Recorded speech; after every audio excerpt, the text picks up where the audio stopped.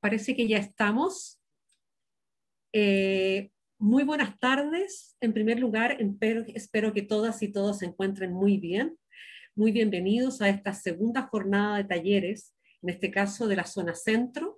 Eh, ayer estuvieron los de la zona norte y mañana están, terminan los de la zona sur. En este caso, nuestra mesa, como ustedes ya saben, ¿no es cierto?, es la mesa de gobernanza urbana y participación ciudadana.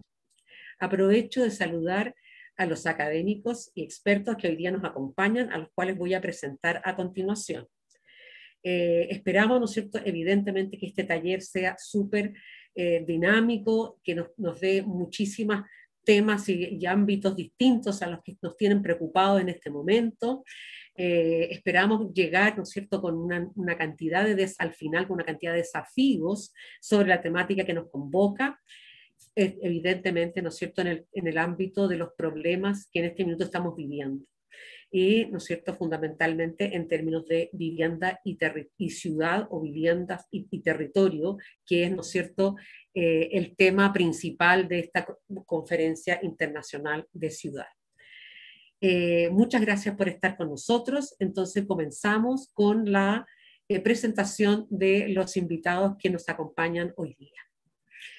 Eh, esta mesa tenía seis invitados. Lamentablemente, nuestros dos invitados constituyentes, por las razones que es de todos conocido, eh, no van a poder estar con nosotros.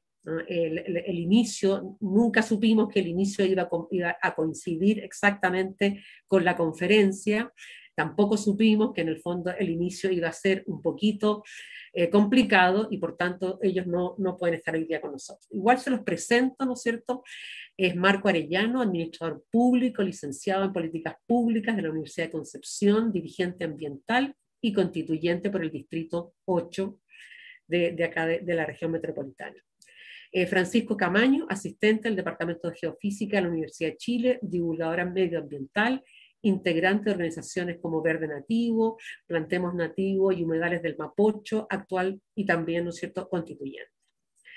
Y ahora sí, con los que estamos acá, me alegro mucho de estar con ustedes, verlos algunos que no me habíamos visto hace tiempo.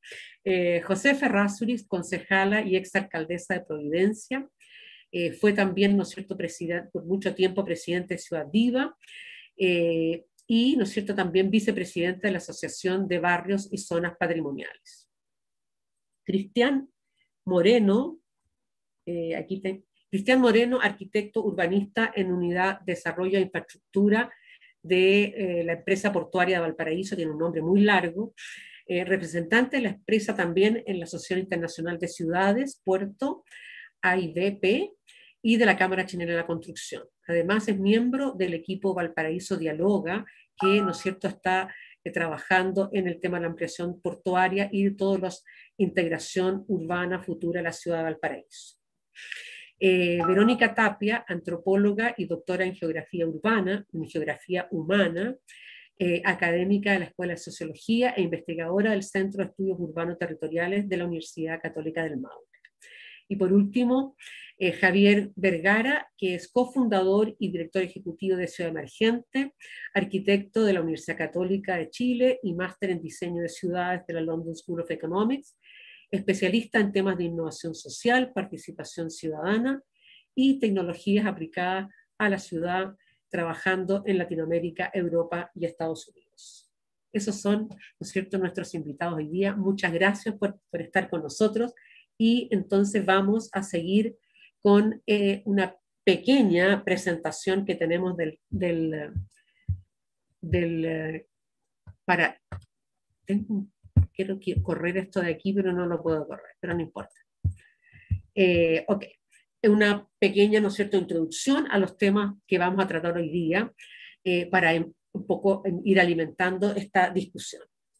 Eh, en primer lugar, ¿no es cierto?, nos, nos planteamos decir, ¿cómo, ¿qué es lo que es la participación ciudadana? Cuando hablamos de participación ciudadana, ¿a qué nos queremos referir?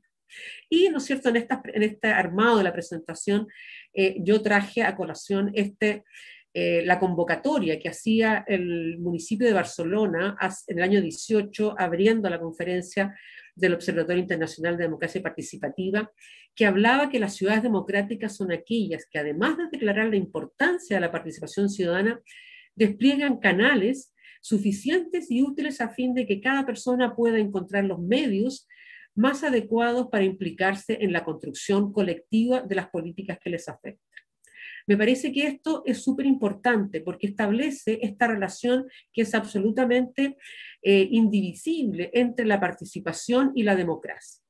Acá tenemos, ¿no es cierto?, un par de algunas imágenes de, de estos canales o estos mecanismos, estas herramientas, como cabildos autoconvocados, eh, como asambleas ciudadanas convocadas desde el municipio o otro tipo de reuniones que se hacen o sea, que se hacen, ¿no es cierto?, como parte de una, eh, un proceso participativo. La siguiente.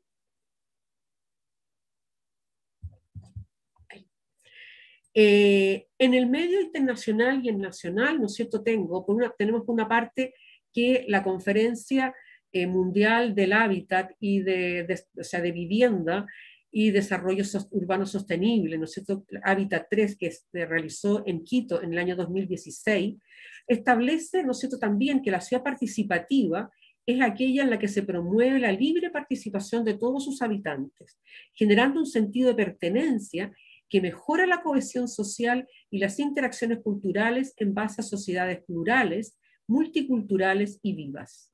Eso es parte de las conclusiones o del escrito de la nueva agenda urbana, eh, en el, que diríamos es el marco que debiera regir a todos los estados participantes de Naciones Unidas desde el 2016 hasta 20 años más, más, para adelante. En el caso de, Chile, pusimos, nos planteamos, ¿no es cierto?, la Política Nacional de Desarrollo Urbano, que es del 2013, eh, pero ¿no es cierto que tiene una dificultad que todavía no tiene ningún reglamento o no tiene programas adscritos, por tanto es, ¿no es cierto?, desde donde se van surgiendo las ideas para que eh, a quien le corresponda pueda ir desarrollando eso para que sea efectivamente posible de bajar. Sin embargo, ¿no es cierto?, tiene tres cosas que yo creo que son importantes de mencionar, como por ejemplo que uno de los principios de la política es la participación. Eh, yo creo que es la, o sea, es la primera vez que una política de desarrollo urbano incluye esta dimensión como una, como una eh, situación así explícita. Y dice, ¿no es cierto?, las decisiones deben ser tomadas con el concurso de la ciudadanía sobre la base, sobre la base de procesos participativos formales y organizados en todas las escalas. En el ámbito de institucionalidad y gobernanza, uno de los cinco ámbitos de la política, eh, señala en el marco de un diagnóstico que el actual, un, diagnóstico, ¿no es cierto?, de, principios del 2000, del, del 2010 al 2011, cuando se estaba haciendo la política, que la institucionalidad era fragmentada, reactiva, centralista e informativa. Por tanto, había que avanzar hacia una integrada, planificada, descentralizada y participativa. No sé si alguno de ustedes estuvo en la conferencia de la mañana, pero claramente estos temas surgieron. El tema de la descentralización, el tema de la planificación y el tema de la participación no pueden seguir estando fuera de estos nuevos desafíos que nos, impone la vivienda y la ciudad. Y por último, ¿no es cierto?, eh, ¿qué es la participación ciudadana efectiva en el marco de la política? Es aquí se considera un derecho a las personas a involucrarse en la, construcción del lugar que habitan, yo diría que habitan donde trabajamos y donde estudiamos, porque son muchas más las actividades que el solo habitar en un sentido como de vivir o de, tener un lugar de, de. La siguiente. Y por último, quisiéramos dar realmente una breve pincelada al tema de la institucionalidad. Un poco para plantear que si bien es cierto, hay una institucionalidad, de la participación en Chile desde hace unos años, eso no necesariamente nos garantiza que eh, hoy día tengamos una participación efectiva, una participación tal vez como realmente quisiéramos que fuera. En el año 2000 hay un instructivo presidencial que coloca en la agenda pública eh, la participación ciudadana en la gestión pública. ya en el año, un par de años anteriores, la ley orgánica de municipalidades había definido que los municipios tenían que eh, formular una ordenanza de participación que estableciera las, cómo iban a ser las relaciones entre el municipio y la comunidad. De ahí hay una ley de transparencia que me parece que es súper importante porque efectivamente la participación requiere de la información. No necesariamente la participación tiene que ser puramente informativa, pero tiene que se sirve de ella.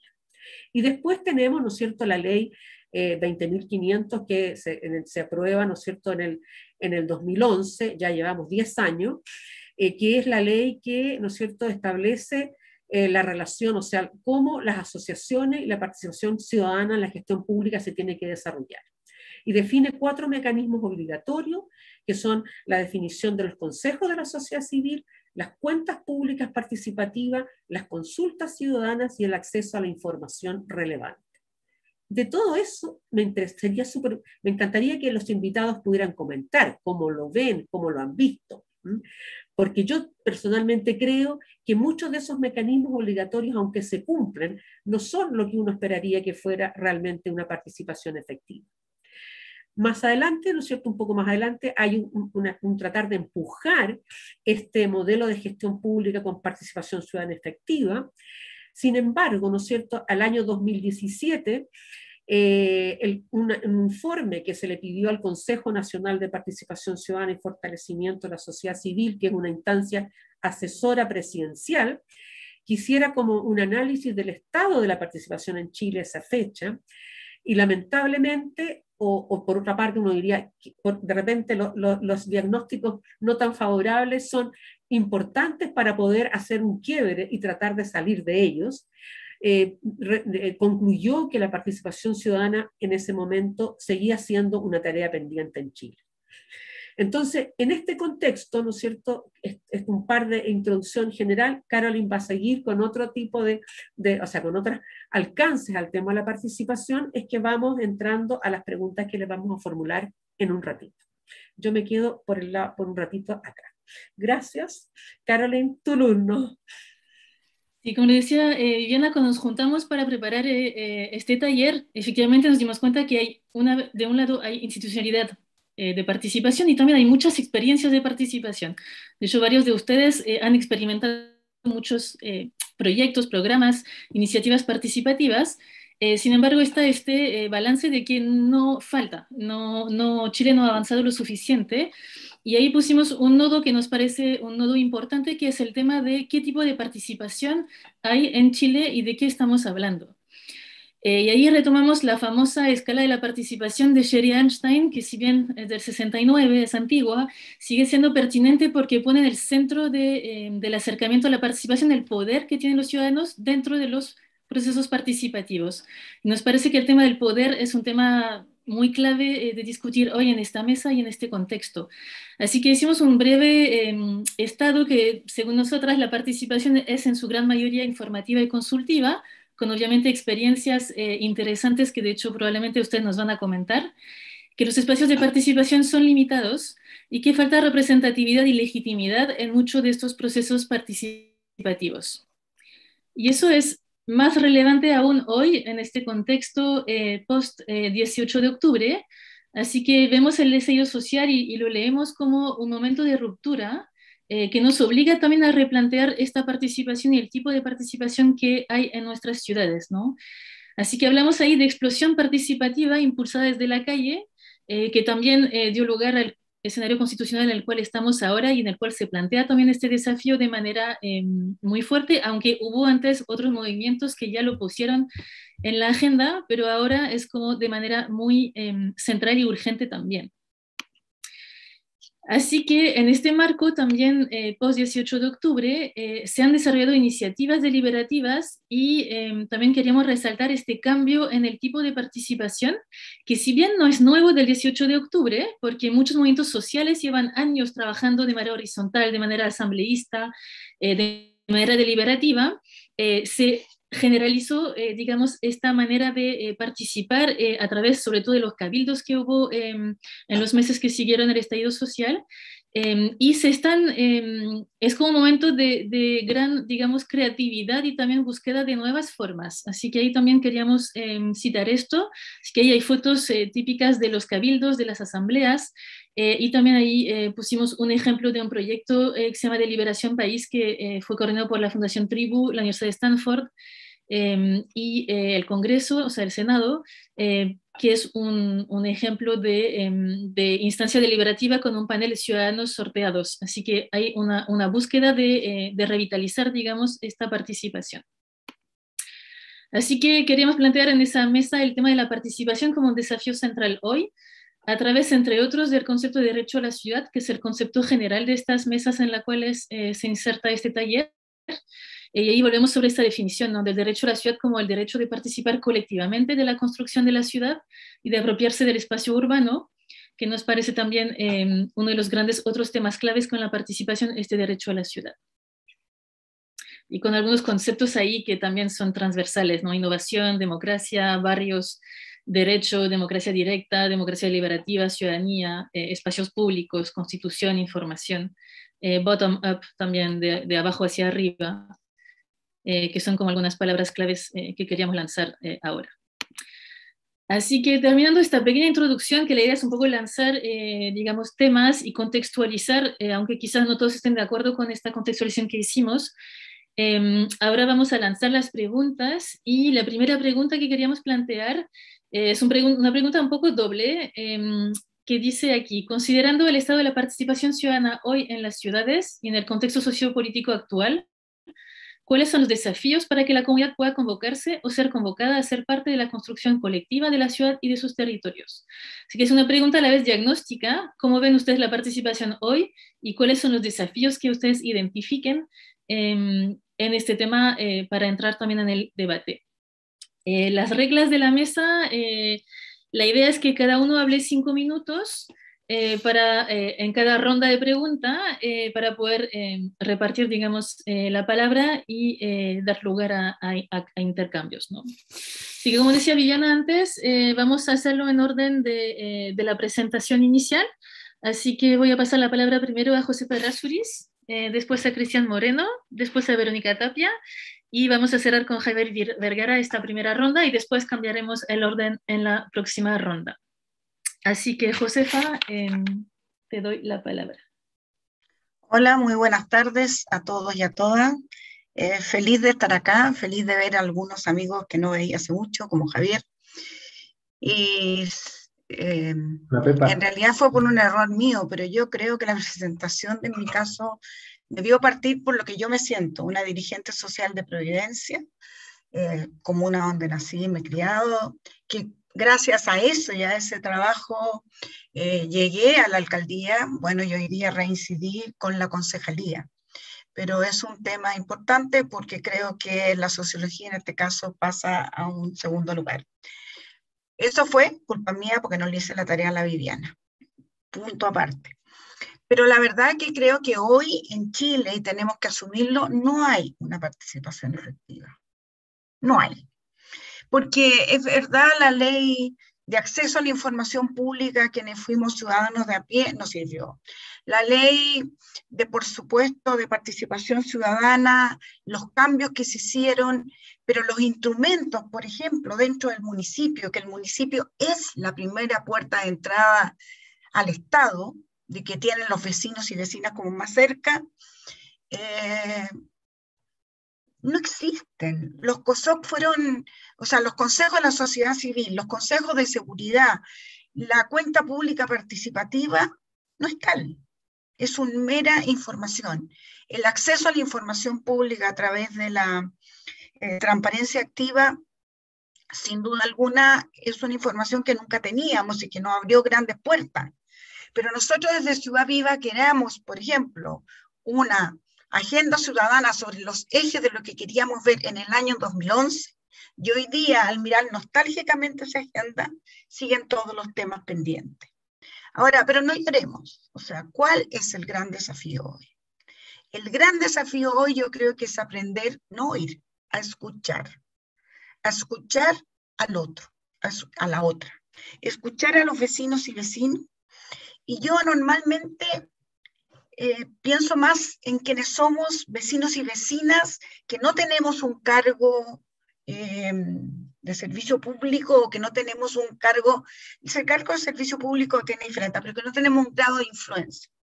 Y ahí yo creo que nuestro deber hoy día, como vecinos y vecinas, es primero restablecer confianzas.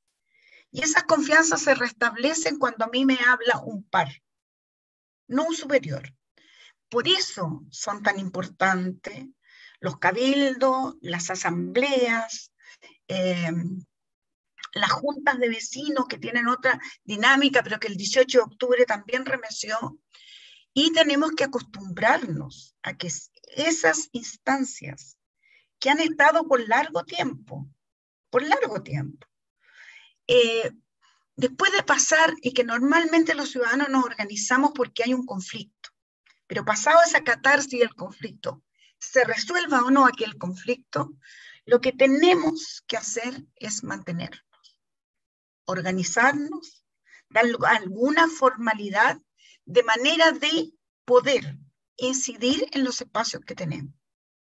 Vuelvo a repetir, yo creo que no hay una participación real porque el, único mecanismo real hoy en Chile es el plebiscito y el plebiscito no está accesible a todas las comunas por un problema de costos. Y lo que planteaba ahí de las audiencias públicas, las audiencias públicas requieren 100 eh, perdón, al menos 100 firmas de vecinos para ser escuchadas y depende de la autoridad municipal si se hacen o no se hacen ellas. Entonces, no es tan que, que, que exista la participación. Pero yo creo que también es importante participar en aquellos lugares y ir corriendo el cerco. Ninguno de nosotros creo, o por lo menos yo me compro por mí misma, que hace un año y medio atrás, hoy día íbamos a estar en un proceso constituyente y con una convención constitucional dirigida por una gran mujer del pueblo mapuche. Entonces, pensemos en cómo corremos esos cercos. Pero convengamos en algo, la participación es absolutamente esencial y primordial. En Chile tenemos buenos ejemplos.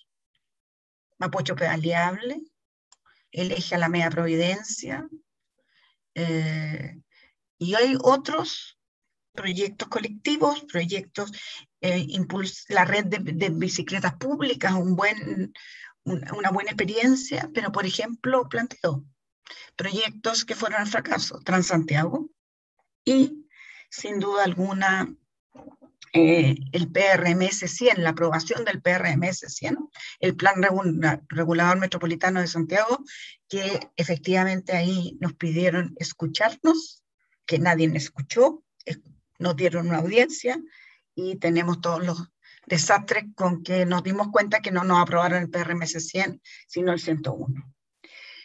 Y eso significa cómo se hace ciudad.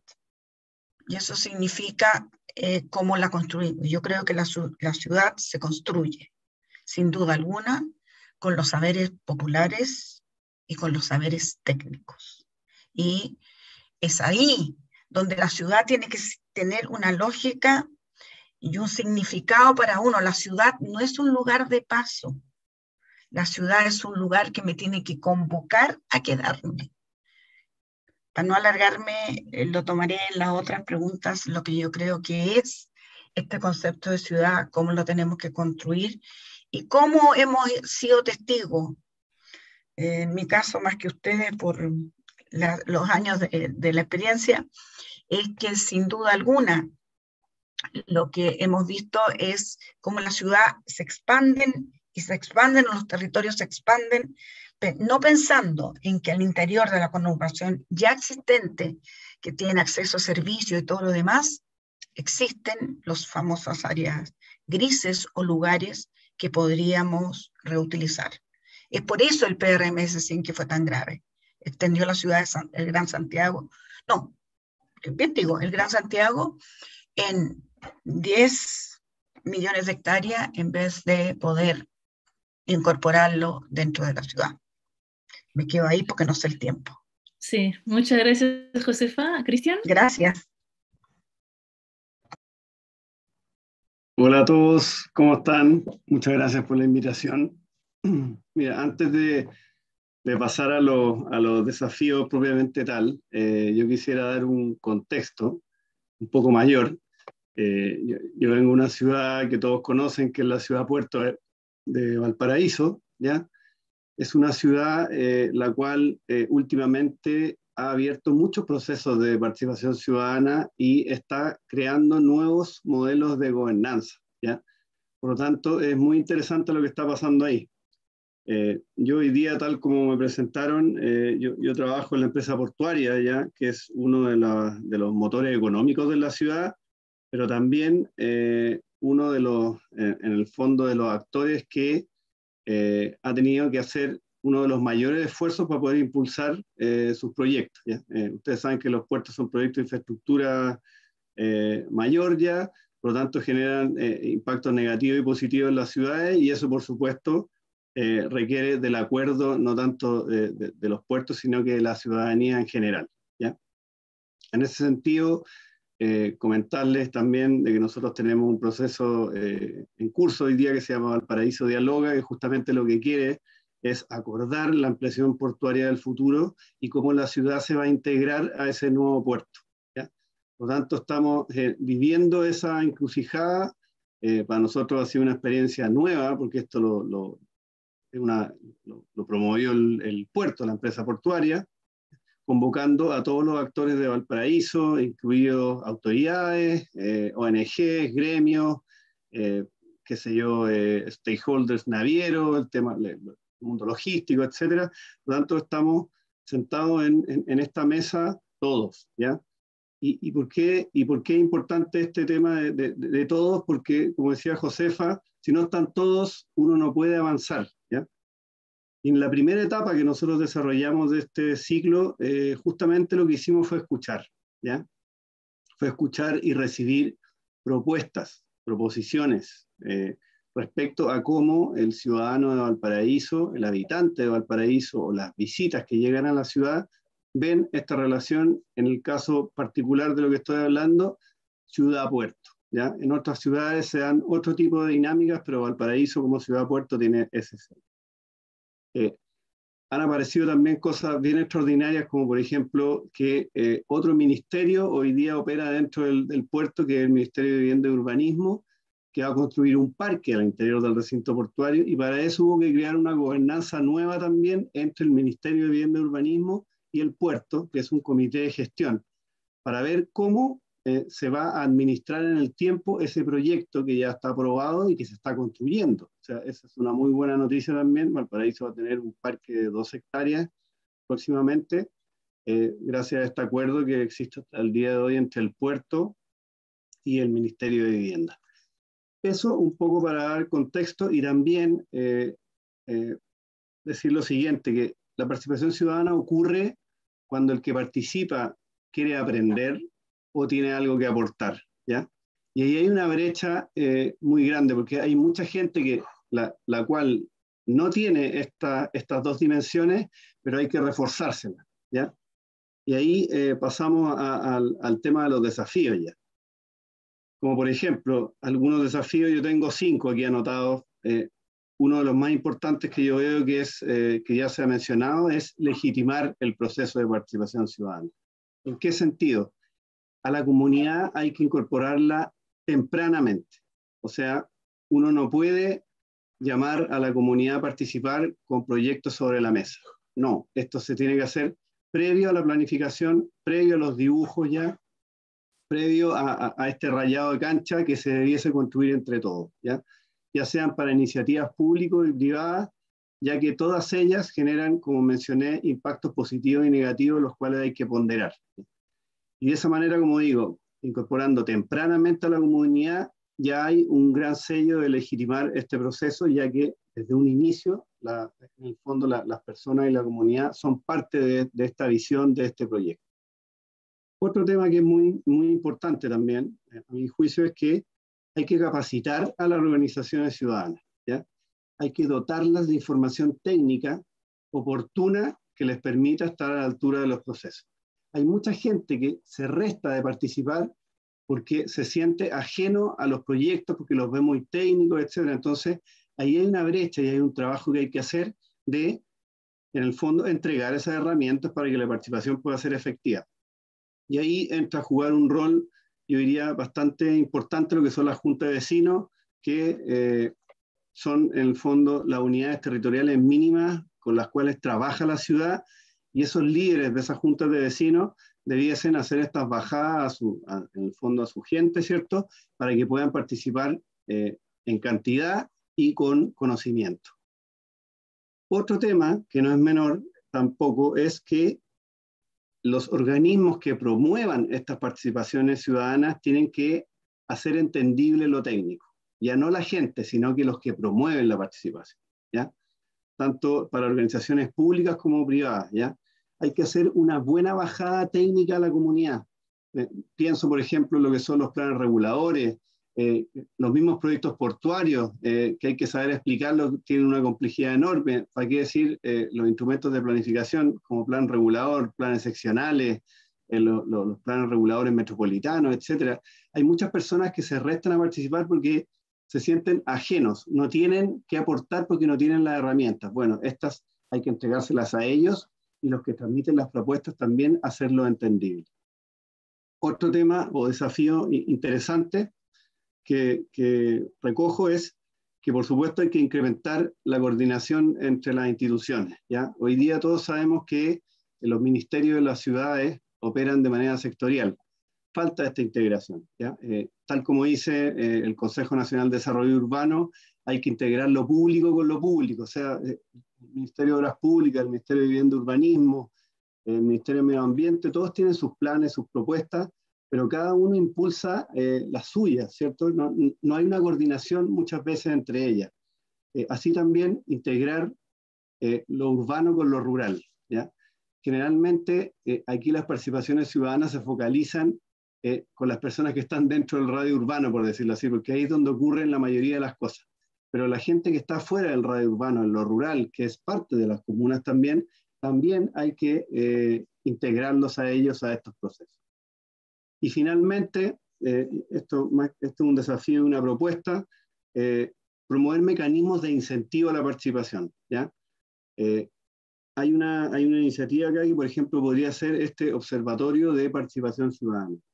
Una, un, en el fondo, una, una institucionalidad o una gobernanza que esté monitoreando permanentemente los procesos, porque solo de esa manera uno puede cuantificar, por decir, en vivo, cómo va un proceso respecto a otro o cuál fue el resultado de, uno u otro proceso. O sea, hay que tener datos, hay que manejar cifras, porque eso también eh, nos va eh, dando luces de los esfuerzos que tenemos que hacer. Muchas eh, gracias, Cristian. Hasta aquí llego. Sí, gracias. ya estamos a tiempo. Y ahora paso la palabra a Verónica. Hola, hola. Mídanme en el tiempo porque aquí uno se pasa. Eh, voy, voy súper rápido. Eh, coincido plenamente con la presentación. Eh, no sé si voy a responder la pregunta, pero tiene que ver que no podemos entender, pienso yo, participación sin poder. Creo que eso es primordial, entender que estamos en un contexto de relaciones de, de poder, por lo tanto, cuando hablamos de participación, no es un elemento neutro, muy por el contrario, sino que está cruzada constantemente con relaciones de poder. Eso yo lo cruzo con la noción de derecho a la ciudad, que ustedes también lo mencionaron y que es, fundamental para poder entender esto. El derecho a la ciudad, eh, bueno, seguramente ustedes también saben, ha sido bastante deslavado en el, en el proceso. Es, un concepto que se, se usa mucho y, y ha perdido, digamos, la connotación y el, el énfasis que, que Lefebvre hizo, supongo yo lo, lo interpreto cuando lo formuló, que tiene que ver con el derecho al conflicto y a la subversión. Eh, y ahí, bueno, mi lectura desde, digamos, la geografía radical o la teoría crítica, digamos, que rescata efectivamente ese, ese aspecto central del, del derecho a la ciudad. Entonces, en ese sentido, eh, yo coincido también que, claro, participación efectiva no hay pero yo pienso que eso no es porque falte educación, tanto eso, sino que falta poder real a esta participación, dotar de poder real a esta participación que tiene que ver con esa escalera clásica que, que siempre se ve. O sea, no hay participación efectiva si no hay eh, un poder efectivo eh, que, se, que se entrega desde un cierto lugar o se toma desde cierto lugar, que es lo que, al menos yo pienso que es lo que está pasando ahora, o sea, no se pide permiso, se, se, hace, ya en el momento en que tú pides permiso ya está supeditado al poder. Esto, la participación efectiva es una participación que tú no pides permiso. Entonces ahí lo cruzo con el tema de los desafíos.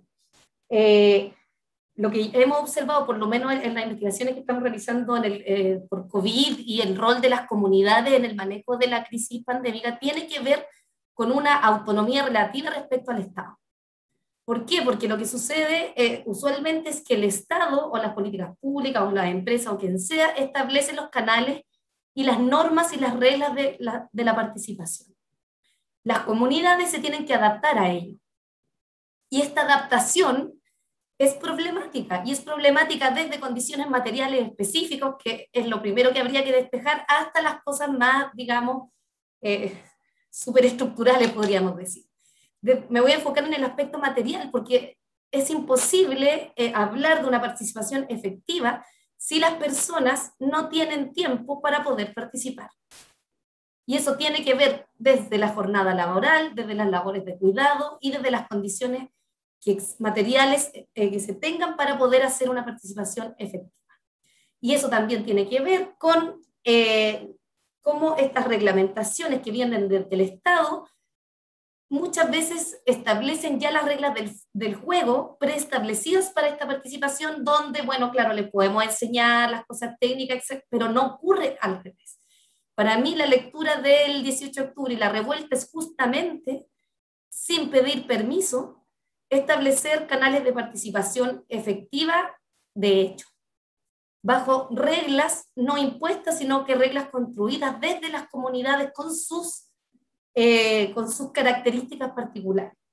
Y en ese sentido, creo, pienso que uno de los desafíos principales es justamente abrir la caja de esta participación y que desde las, o sea, realmente de abajo hacia arriba se establezca el, tipo de participación que, que, se requiere y eso tiene que ver con el poder, básicamente. O sea, si seguimos estableciendo estas cajitas donde participamos según estas normas, pienso que no se va a lograr esta participación efectiva.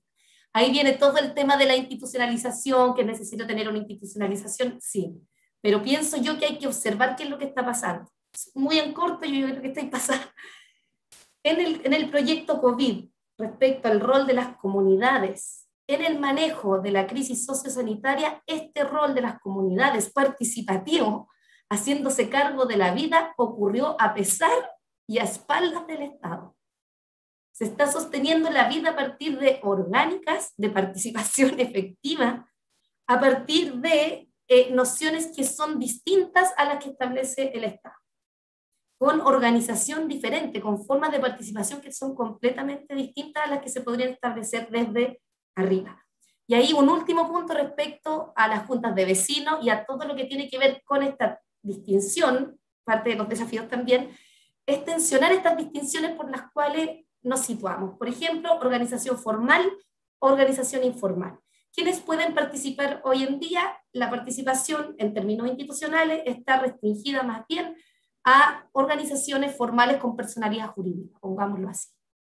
Pero en los territorios está pasando otra cosa en los territorios donde se está haciendo participación efectiva y, lazos comunitarios no son organizaciones formales, lejos de tener personalidad jurídica, sino que es eh, imbricaciones orgánicas con, con, formas de funcionar, de formas de articularse que son completamente diferentes y que están lejos de esta, esta distinción entre lo formal y lo informal y ahí hay un desafío enorme y tiene que ver con esta autonomía relativa, le hemos llamado acá, de, las, de la comunidad. Y eh, otro punto también, otra dicotomía o otras categorías que quizás debiésemos empezar a pensar es lo que decía Cristian muy acertadamente. ¿Qué es lo rural y qué es lo urbano? ¿Vamos a restringir la participación a la ciudad, a lo urbano? Nuestro país, o sea, esta distinción urbano-rural no funciona. No funciona. Ya ahí también eh, hay, eh, hay teoría bastante respecto a estos procesos de urbanización expandida. Claramente, eh, delimitar la participación a lo urbano, entendido lo urbano en contraposición a lo rural, también nos queda chico. Absolutamente, más en un país como, como el de nosotros. Por lo tanto, ese es un desafío enorme, enorme, que nos queda mucho camino por, por pasar. Solamente presentar un concepto que estamos tratando de trabajar acá, que tiene que ver con los entramados comunitarios, que tiene que ver que la participación viene desde incluso la escala del hogar, de los cuidados de las mujeres, y ahí la teoría feminista tiene mucho que decir al respecto. Eso. No sé si me pasé. Muchas gracias, Verónica. Eh, voy a dejar la palabra a Javier, que tendrá unos minutos más también porque, para equilibrar. Javier. Súper, voy a, voy a estar de acuerdo con todo lo que han dicho. Vamos a pasar a la siguiente pregunta, pero solo complementar con, quizás desde la mirada que les puedo compartir desde el trabajo que hacemos en Ciudad Emergente, eh, dentro de los desafíos probablemente está hacer cosas distintas, porque si es que la participación básicamente la vamos a promover desde esos canales, o, o al menos se ha promovido fuerte desde esos canales de la, de la, de la ley 20.500, ¿no es cierto? O esas declaraciones de lo que queremos para la participación, y nos damos cuenta que no, no se está haciendo una participación efectiva, es momento de decir, bueno, ¿y qué, qué otras cosas le agregamos a esa, a, esa, a esa lógica de participación que nos inviten a participar, que, nos, que, básicamente nos sintamos atraídos a participar. Em, de hecho, no sé, por el mismo dato de, de, cuántos jóvenes participan, eh, en general de, de, los procesos como más formales de la participación electoral es súper baja. De hecho, eh, de hecho, no sé, yo tenía algunos datos ahí de que menos del 40% de los jóvenes entre 18 o 40 años participa de los procesos electorales, pero de forma opuesta, más del 60% de los jóvenes también ha tomado participación en otras formas que no son eso. En el fondo, por ejemplo, en las manifestaciones de la vía pública, ¿no es cierto? En esa foto que ustedes mostraban de, de, eh, del estallido, ¿no es cierto? La mayoría de la gente se, llamaba, se, se, sentía atraída a participar de una forma distinta. Entonces, bueno, qué cosas y qué canales deberíamos en el fondo promover para hacer que la participación sea efectiva, porque efectivamente sí hay gente que quiere participar, los jóvenes también quieren participar de una manera distinta. Eh, entonces, ahí yo creo que hay un trabajo que hacer, pensar nuevas formas eh, y también pensar en las causas, porque mucha gente en el fondo se atrae a participar porque hay una causa que le mueve. Entonces hay, varias formas de participar. Yo quizás puedo participar de un, proyecto más comunal, vecinal, porque me interesa lo que está pasando en mi barrio y afuera de mi, casa. Otras personas puede que les interese moverse por otras cosas, causas mucho más complejas o, más desafiantes a nivel país, pero son distintos niveles de, participación y distintas causas de participación. Entonces también el desafío, y concuerdo con la Pepa de poder escuchar también, ¿no es cierto? ¿Qué temas son los que dan forma a que la gente también quiera participar? Cuando veíamos en las marchas del estallido, no sé, las causas de temas ambientales, ¿no es cierto? El tema del agua, temas de pensiones, ¿no es cierto? Son temas que uno dice, bueno, esto mueve a mucha gente a salir a la calle y, y, y, a veces decimos que no tenemos tiempo para, para participar. Bueno, ahí veías mucha gente con, con, todo el tiempo del mundo para poder ir a expresar su, su, su, su interés por participar de una causa. Entonces, ¿cómo, ve, ¿cómo, el desafío, volviendo un poco a la pregunta, es qué causas también nos mueven a nivel de barrio, que, que sea interesante para poder invitar a la gente a participar? ¿Qué causas nos mueven a nivel comunal? ¿Qué causas nos mueven a nivel eh, regional, nacional? ¿cierto? Identificarlas y buscar formas atractivas de hacerlo también ayudan a, a lo que mencionaban anteriormente, también a construir confianza. Si en el fondo no, son, no simplemente eh, ir a, a protestar o ir a expresar algo, sino mantener en el tiempo la participación de una manera que sea entretenida. Yo me acuerdo que con, la Pepa en algún momento hicimos todas estas eh, eh, iniciativas de, comer en la calle con los vecinos, ¿no es cierto? Y acompañar un proceso formal de participación de un tema de declarar zona típica un barrio con algo mucho más suelto, más relajado, de conocerse, mirarse a la cara, estar en desacuerdo y escuchar al otro, a, partir de estos malones que hacíamos en, el barrio Bellavista con los vecinos de Recoleta y de Providencia, y algo que en el fondo no es que sea la forma de hacer participación, sino, sino más bien un complemento a las formas que hoy en día dice la ley que, que, existen. Complementémoslas con más cosas, atrevámonos a hacer cosas distintas, de que a un joven lo motiva a participar, de que a tu amigo que no participa y no va nunca nada se anima a participar, o tu, o, tu círculo de amigos que tampoco participan ni en la junta de vecinos, ni que tampoco van a votar. Entonces, yo creo que ahí está el desafío de salir de la caja, eh, ¿no es cierto? Y empezar a pensar en cosas que puedan ser absurdas, que alguien diga, están locos haciendo estas cosas. Bueno, quizá hay que ponerse un poquito más eh, como creativos, ¿no es cierto?, en buscar esas formas que nos ayuden a, atraer a más personas a participar de distintas causas.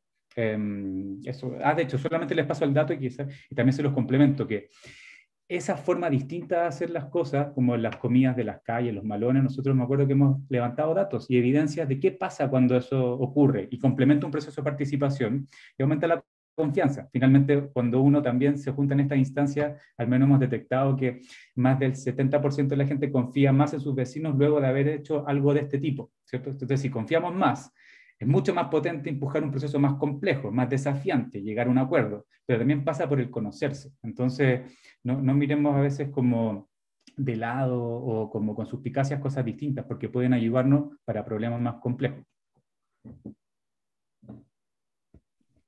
Muchas gracias, Javier. Eh, bueno, yo creo que hay muchos elementos que ahí vamos a retomar después. Eh, los cuatro, eh, mm, las cuatro ponencias o, intervenciones fueron muy complementarias. Dejo la palabra a Viviana para, para seguir. gracias, Carolyn. Yo también concuerdo que hay varios, todos tocado cosas que vamos a tomar. Tenemos una pregunta del público que vamos a hacer al final. ¿Me pones la pregunta nuevamente?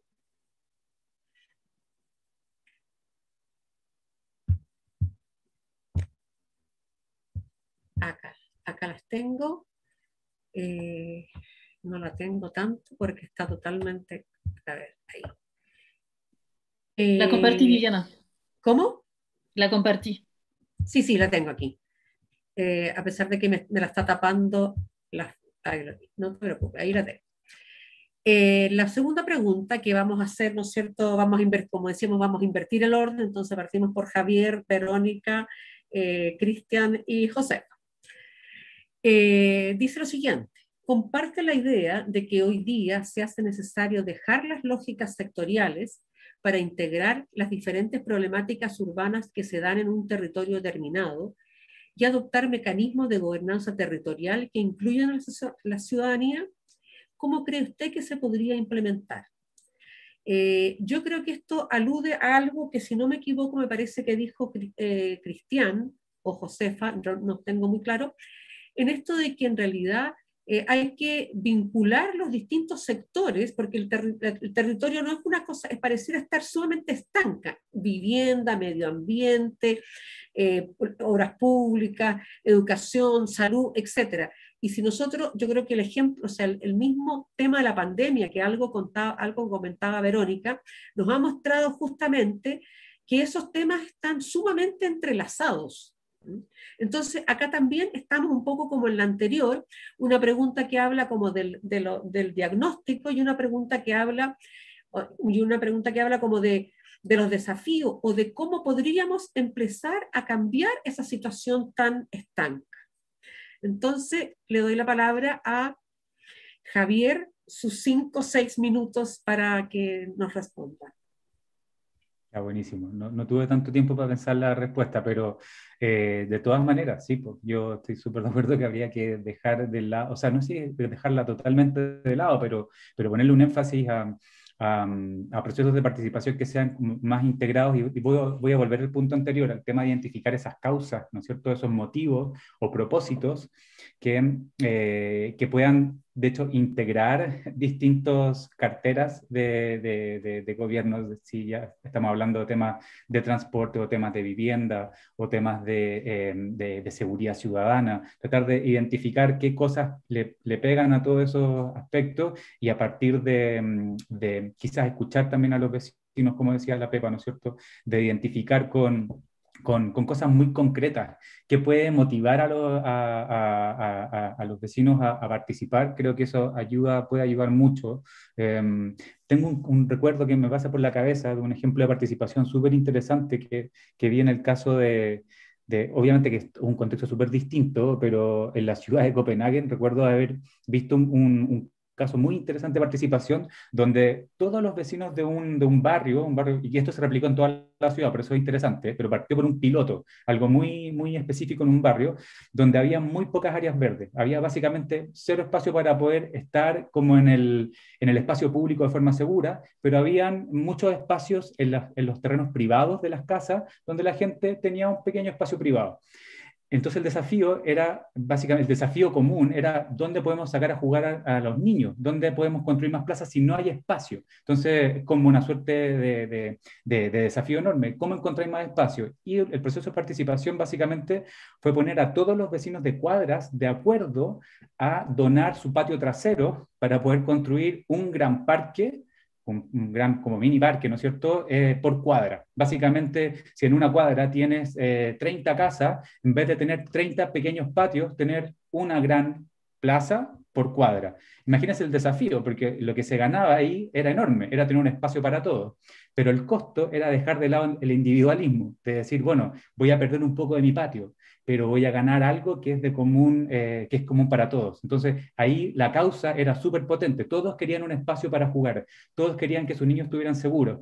Y la estrategia fue reunir a todos los vecinos para poder ceder algo de su espacio privado, de su, individualismo, ¿no es cierto? Que a veces es tan complicado salir de nuestro metro cuadrado, pues. si vemos todo como en el beneficio propio. Y en lo sectorial también pasa eso. Una cartera de gobierno ve su metro cuadrado de transporte, el otro ve su metro cuadrado de vivienda, el otro ve su metro cuadrado de seguridad ciudadana, etcétera. Y aquí básicamente hacer el esfuerzo de mirar el problema común, la causa común. Entonces, lo, digo como un caso interesante de participación porque esa experiencia que se hizo en ese barrio pequeño de Copenhague se empezó a replicar en todas, en muchos lugares de la ciudad y finalmente se transformó en una política pública de construir más espacios públicos en una ciudad con muy poco, eh, muy poco espacio. Eh, y, acompañado de la parte más de tomar las decisiones, de, ceder ese espacio, eh, iba acompañado de harta fiesta. Me acuerdo que me, comentaban en el caso de los daneses que no era solamente como el tema de llegar a acuerdos de cuántos metros se definían y por cuánto tiempo, sino también pasarlo bien en el proceso, pasarlo bien y se celebraban reuniones eh, a final de la semana donde todos llevaban, hacían un carrete y básicamente también construían esos vínculos de, de, de, camaradería, de convivencia. Y significa también pasarle a la participación ciudadana no solamente el carácter como de oficina, como de burocracia, sino también el carácter de terreno, el carácter de lo cariñoso, el carácter de lo, de lo cercano. Eh, y eso es un desafío enorme. Ok, muchas gracias Javier. Eh, Verónica.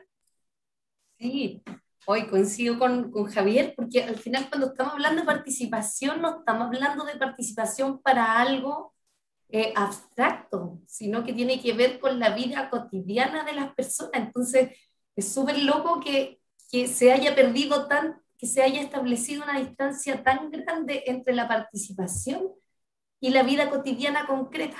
Y eso no habla del diagnóstico, que algo, algo no está funcionando, porque no puede ser algo tan ajeno, algo que, es que tiene tanto que ver con nuestra vida cotidiana.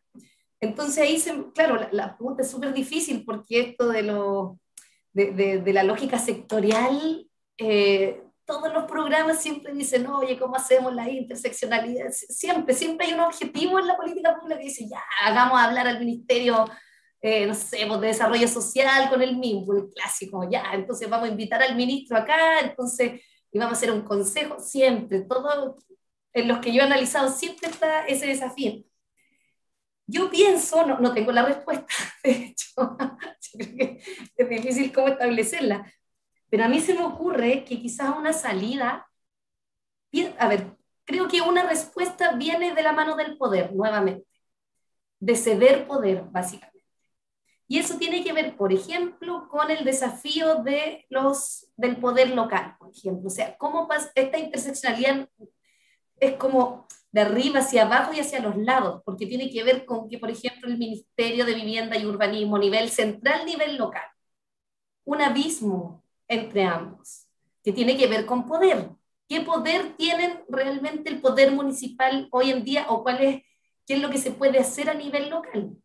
Yo creo que un pasito que podría ir en función de poder un poco desestabilizar esta lógica tan sectorial sería darle más poder, y eso implica eh, plata, digamos, recursos, todo lo que está detrás que sabemos, a, a las municipalidades, porque son las municipalidades las que están en contacto más directo con la vida cotidiana de los vecinos y vecinas, y a partir de ahí quizás se podría eh, abrir un camino para poder empezar a tensionar esta, esta lógica sectorial, que tiene que ver también con las escalas, porque todo esto es intersectorial e interescalar, porque claro, como decir, vamos a asegurar espacios públicos de calidad, si no ve, lo podemos ver a nivel del vecindario, pero también lo tenemos que ver a nivel de la ciudad.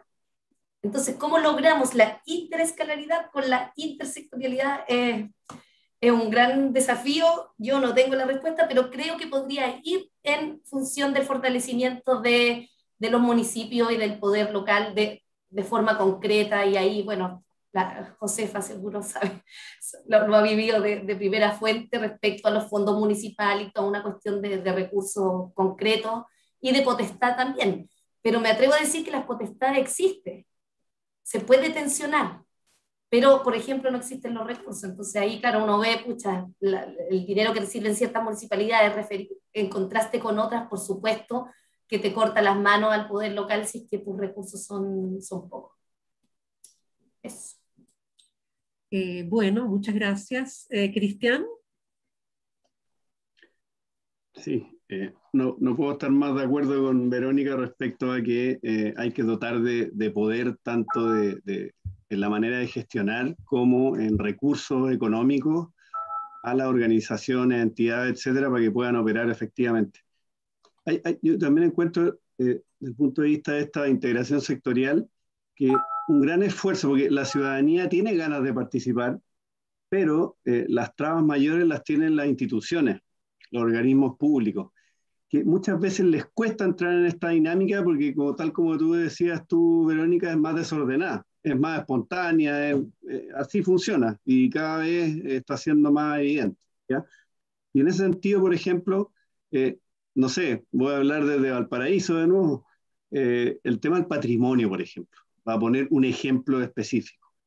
La institución patrimonial se manifiesta solamente cuando le llega la iniciativa desarrollada. O sea, no hay ninguna posibilidad de eh, conversar con ellos antes de o acordar o llegar a alineamientos para que esa aprobación fluya. Eso, por ejemplo, es parte de una participación ciudadana, pero ya de la institución, o sea, eh, que es parte de la ciudad, o sea, ese organismo, eh, esa institución opera en esa ciudad y sus decisiones tienen consecuencias sobre el territorio, ¿ya?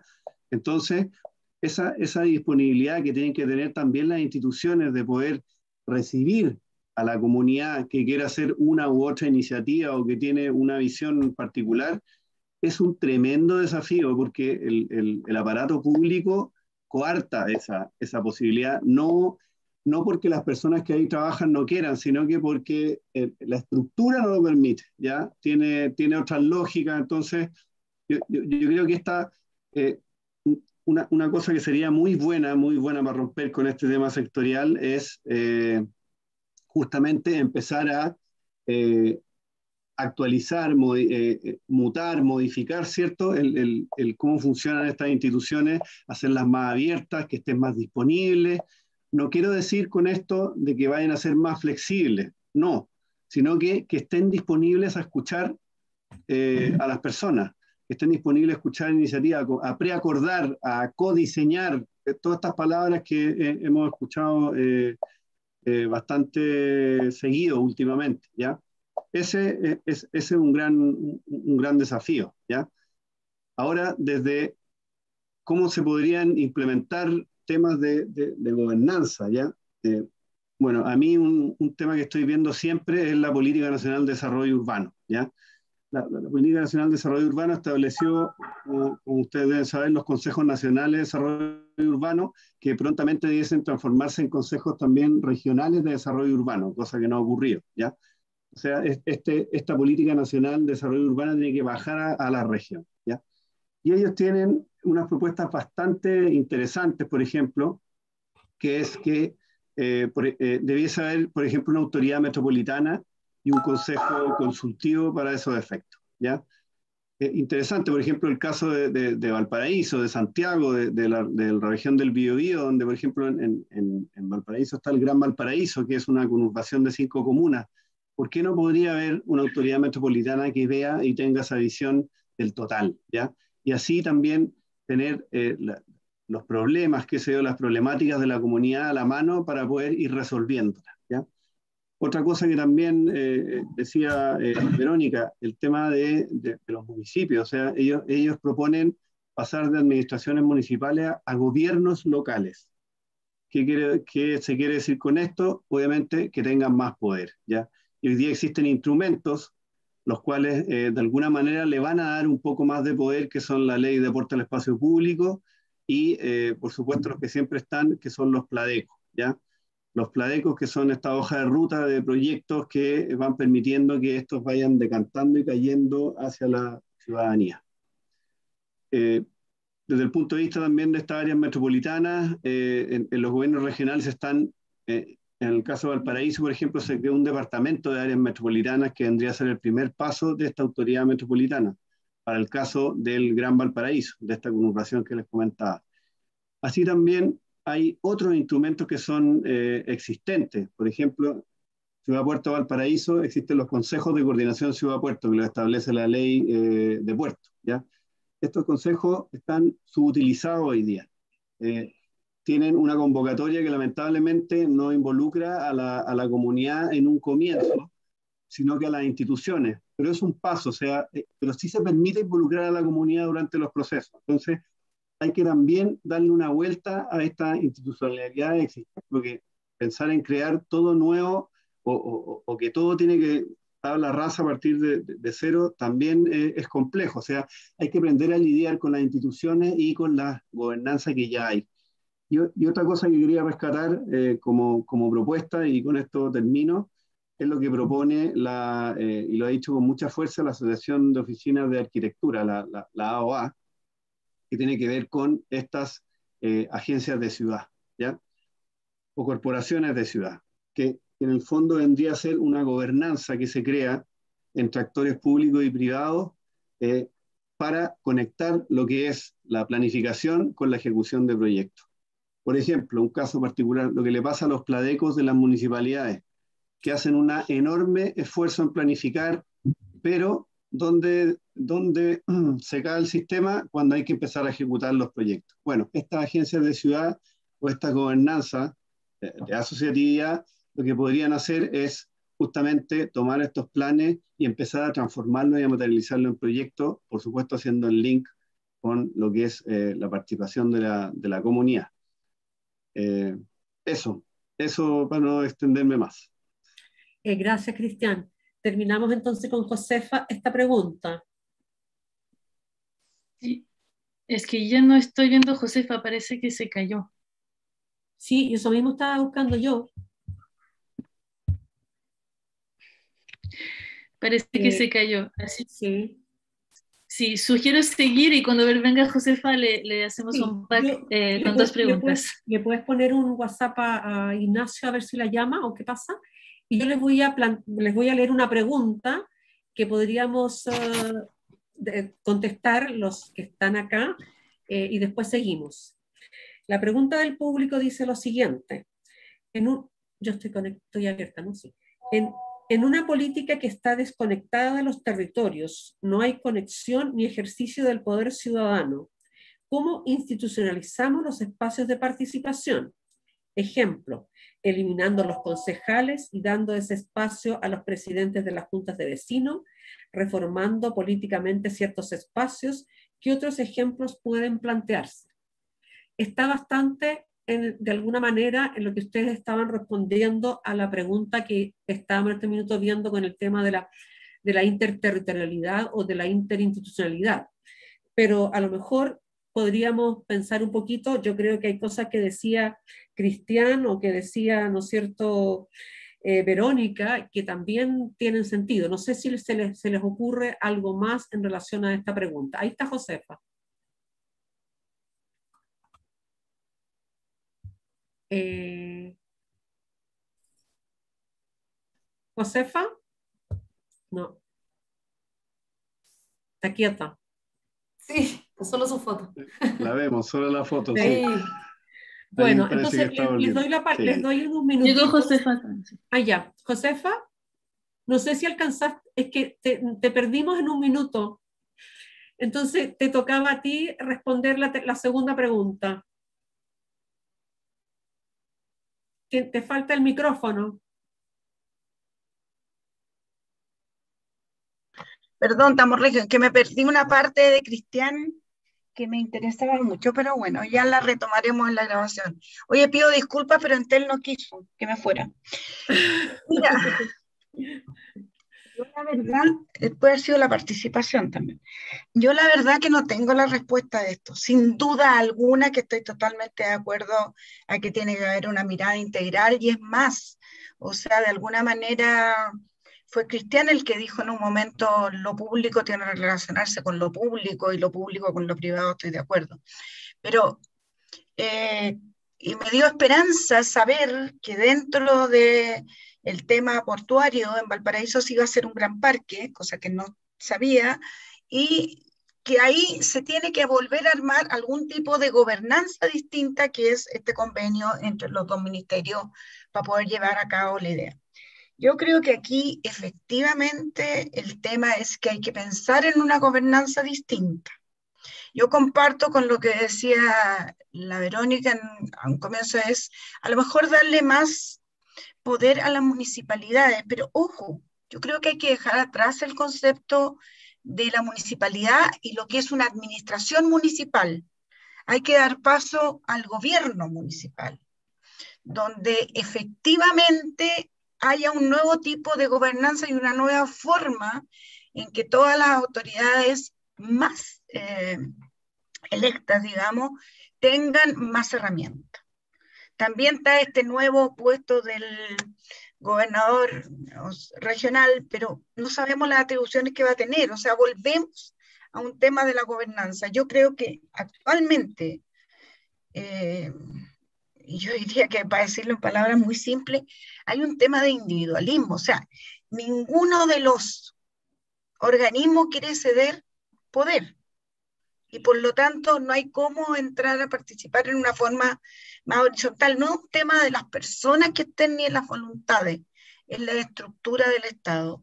Y ahí yo vuelvo a lo que podemos hacer, que es volver a presionar, volver a pedir, volver a cuestionar lo que hoy es la institucionalidad y darnos otro tipo de gobernanza. Sin duda, eh, conozco ma mayormente el tema, cómo funcionan ciudades y no cómo funciona el territorio rural, estando completamente de acuerdo que no puede haber, lo rural no puede ser marginado o no visto en esto, es un tema integrado y tenemos que, que verlo, pero hay, eh, desde el punto de vista de la ciudad misma, un director de obras puede hacer exactamente lo que quiere con autorización o sin autorización de un alcalde o alcaldesa.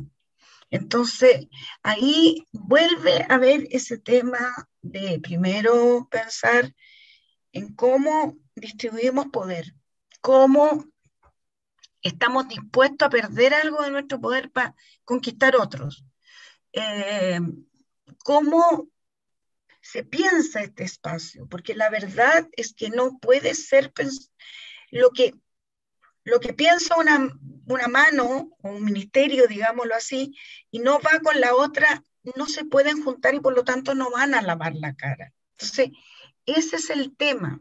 Y yo creo que en algún momento eh, tenemos que llegar a alguna horizontalidad. Hoy día nuestro país es una verticalidad espantosa y lo nacional no tiene que ver con lo regional, eh, llámese ministerio, llámese comuna, llámese eh, las instituciones que sean, pero tenemos que ir avanzando hacia una horizontalidad y por que eso nos lleva a lo que es la descentralización y por supuesto la regionalización. Pero una solución concreta fuera de tratar de abrirnos la cabeza y pensarlo entre todos y pensarlo colectivamente, pero donde no haya jerarquía en ese pensamiento colectivo, yo creo que no podría llevar a una posible solución. Gracias. Muchas gracias, Josefa. Eh, en el intertanto que tú estabas tratando de entrar, eh, habíamos dado una eh, pregunta del público que tenía que ver con esta desconexión de los territorios y plantea algo como un ejemplo. en el fondo dice que si se podrían eliminar los concejales y dar ese espacio a los presidentes de las juntas de vecinos, reformando políticamente ciertos espacios. Y dicen, ¿no es cierto?, que otros ejemplos podrían plantearse. Pero si no, en ese punto específico, ¿hay alguno que quisiera contestar? Sí. Verónica. Quizás no respondiendo a la pregunta, pero claro, respecto a esa proposición, es, es compleja, encuentro yo. Porque, bueno, lo, lo, que por lo menos hemos estudiado acá es que, claro, por las juntas de vecinos, eh, por la historia, por todo, lo, que, todo el agua que ha pasado bajo el puente, también es parte de una institucionalidad que está delegitimada o tiene grados de, de, no legitimidad. ¿Por qué? Pero esto, bueno, da, mucho, pero hay toda una serie de cosas que pasaron desde la, de la dictadura, que tiene que ver, uno, con eh, la atomización de todo esto, con implementación de lógicas clientelares, donde, claro, por la Junta de Vecinos eran los votos y ahí estaba la cancha y pasto, pasto queremos y todo eso de calumnio no sé si han visto la película, aprovecha hacer el aviso.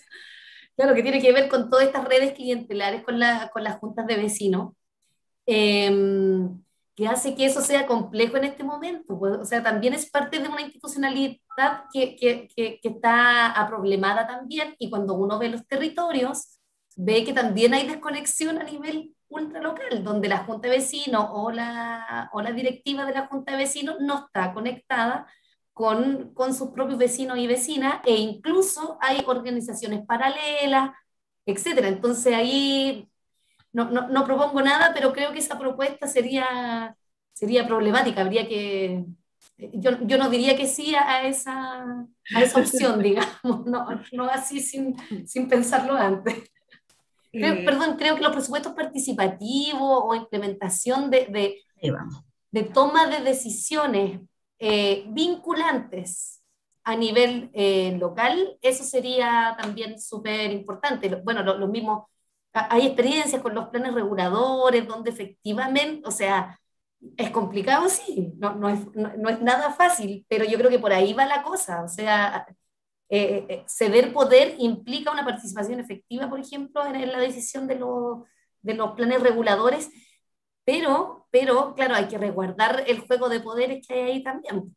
O sea, ir a votar, no es sencillamente ir a votar sí o no al plan regulador, sino que tiene que ver con todo el, el proceso y todos los poderes que están ahí en juego. Gracias, Verónica. Eh, Javier, Cristian o Josefa, ¿algún comentario más a esta pregunta? Josefa levantó la mano. ¿Ya? Yo creo que el tema de, no, no es tan fácil responder sí o no. O sea, yo creo que el tema de cambiar la figura concejales por la figura de presidentes de juntas de vecinos, así, porque sí, es como son electas las juntas de vecinos o la presidencia de las juntas de vecinos. Yo creo que lo que está eh, en juego acá es cuán cerca están esas autoridades que conforman el gobierno comunal en, la ciudadanía. Yo creo que acá lo que tú tienes que hacer es representar, si estás en un cargo como ese, representar la voz de las y los vecinos. Por lo tanto, tienes que hacer, que yo creo que es lo que propongo también para la otra, es un poco hacer una concejalía ciudadana, o sea, una consejería territorial. Es decir, que, ¿quién mejor sabe los problemas que tiene que la persona que vive, trabaja o estudia en ese sector? O sea, por eso yo digo, hay que volver a, reestructurar no las unidades vecinales en el caso de las comunas de ciudad, sino los barrios. O sea, en una unidad vecinal pueden haber barrios, varios, hay varios barrios. Y por lo tanto eso significa que la realidad de una eh, unidad, eh, unidad administrativa con la que se gobierna hoy día, que es la unidad comunal, no es significativa.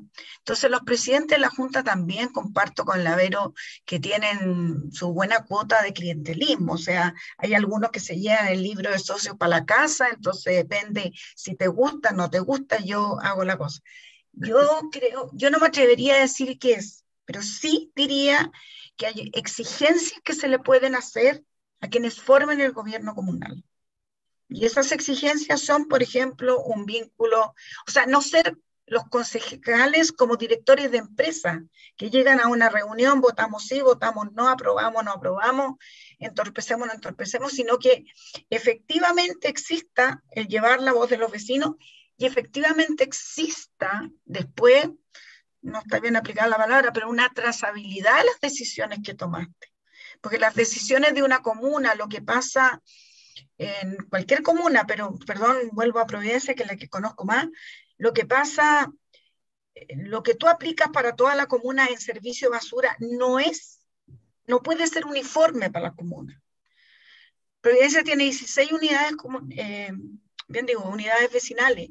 Sin embargo, hay al menos 23 barrios que nosotros en algún momento identificamos y son distintas las necesidades, son distintas las realidades tú tienes que acercarte. Ahora comparto plenamente, ya no me acuerdo quién lo dijo, este concepto que el vecino es el que vive, el trabaja y el que estudia. Y por lo tanto hay necesidades distintas en cómo se, cada una de las unidades vecinales se debe tratar, cómo cada una de las ordenanzas municipales se deben aplicar.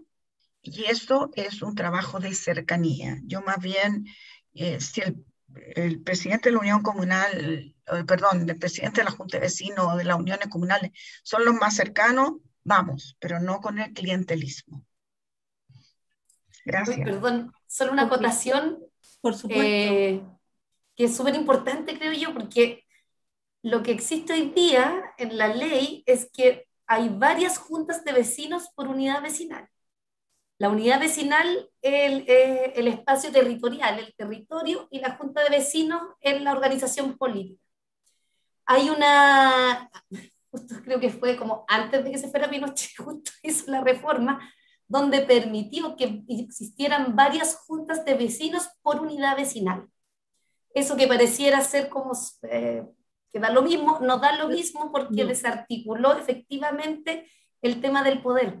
Entonces ahí podría haber como una medida concreta, súper específica que habría que revisar para que efectivamente eh, el poder tuviera esta representatividad territorial. Ahora, ¿cómo se hace eso? Es ciertamente un desafío porque tiene que ver con hacer retroceder un montón de cosas, desmontar varias cosas, pero, pero no es menor ese aspecto técnico, entre comillas. Yo entiendo que lo que pasa es que las juntas de vecinos eh, tienen una, tienen, o sea, se puede armar una junta de vecinos con muy poquitos vecinos, porque eso depende de, hay una proporción entre la, la población de la comuna y la, la, o sea, lo que puede tener esta junta de vecinos. Por tanto, obviamente, si de repente una junta de vecinos se puede hacer con 200, personas con 200 personas, y esas 200 personas en algunos casos son varios de una misma familia, en realidad está totalmente atomizado. Entonces, ahí yo creo, yo también concuerdo que en el fondo no es solamente un tema de, si o sea, yo creo que la, por eso que hay varias, varios análisis y estudios de que en realidad el tema de la Junta de Vecinos requiere al menos una revisión en términos de cómo ha estado operando en el último tiempo y si es exactamente el organismo de la ciudadanía o de la comunidad que corresponde o que sirve o que apoya este proceso más participativo en las áreas locales. Lo fueron, ¿eh? Lo fueron. Lo fueron, si el problema es todo lo que pasó, todo el agua que sí, pasó claro, claro. Pero en este minuto hay una hay, lo que tú planteas es cierto y eso está de repente, eh, eh, o sea, eh, haciendo, generando algunas controversias en los territorios porque hay dos, dos juntas de vecinos o tres juntas de vecinos que compiten por determinados, ¿no es cierto?, proyectos, planes, recursos, etcétera. Sí, solo, solo para aclarar, claro, que por lo menos que me preocupa, no es que se elimine la Junta de Vecinos ni por mucho, ¿ah? Es, No, un, no, no, es una orgánica fundamental, pero hay que revisarla para poder revitalizarla y que efectivamente sea un canal de participación política concreta.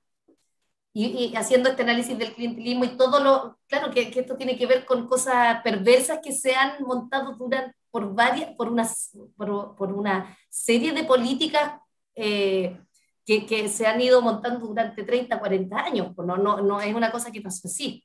Entonces yo, yo revitalizaría las juntas de vecinos como, como una orgánica fundamental asociada a un territorio específico y identificando y tratando de desmontar aquellos como incentivos perversos que promuevan el clientelismo y, y que sean eh, realmente un canal de, de participación concreta. Cristian pidió la palabra.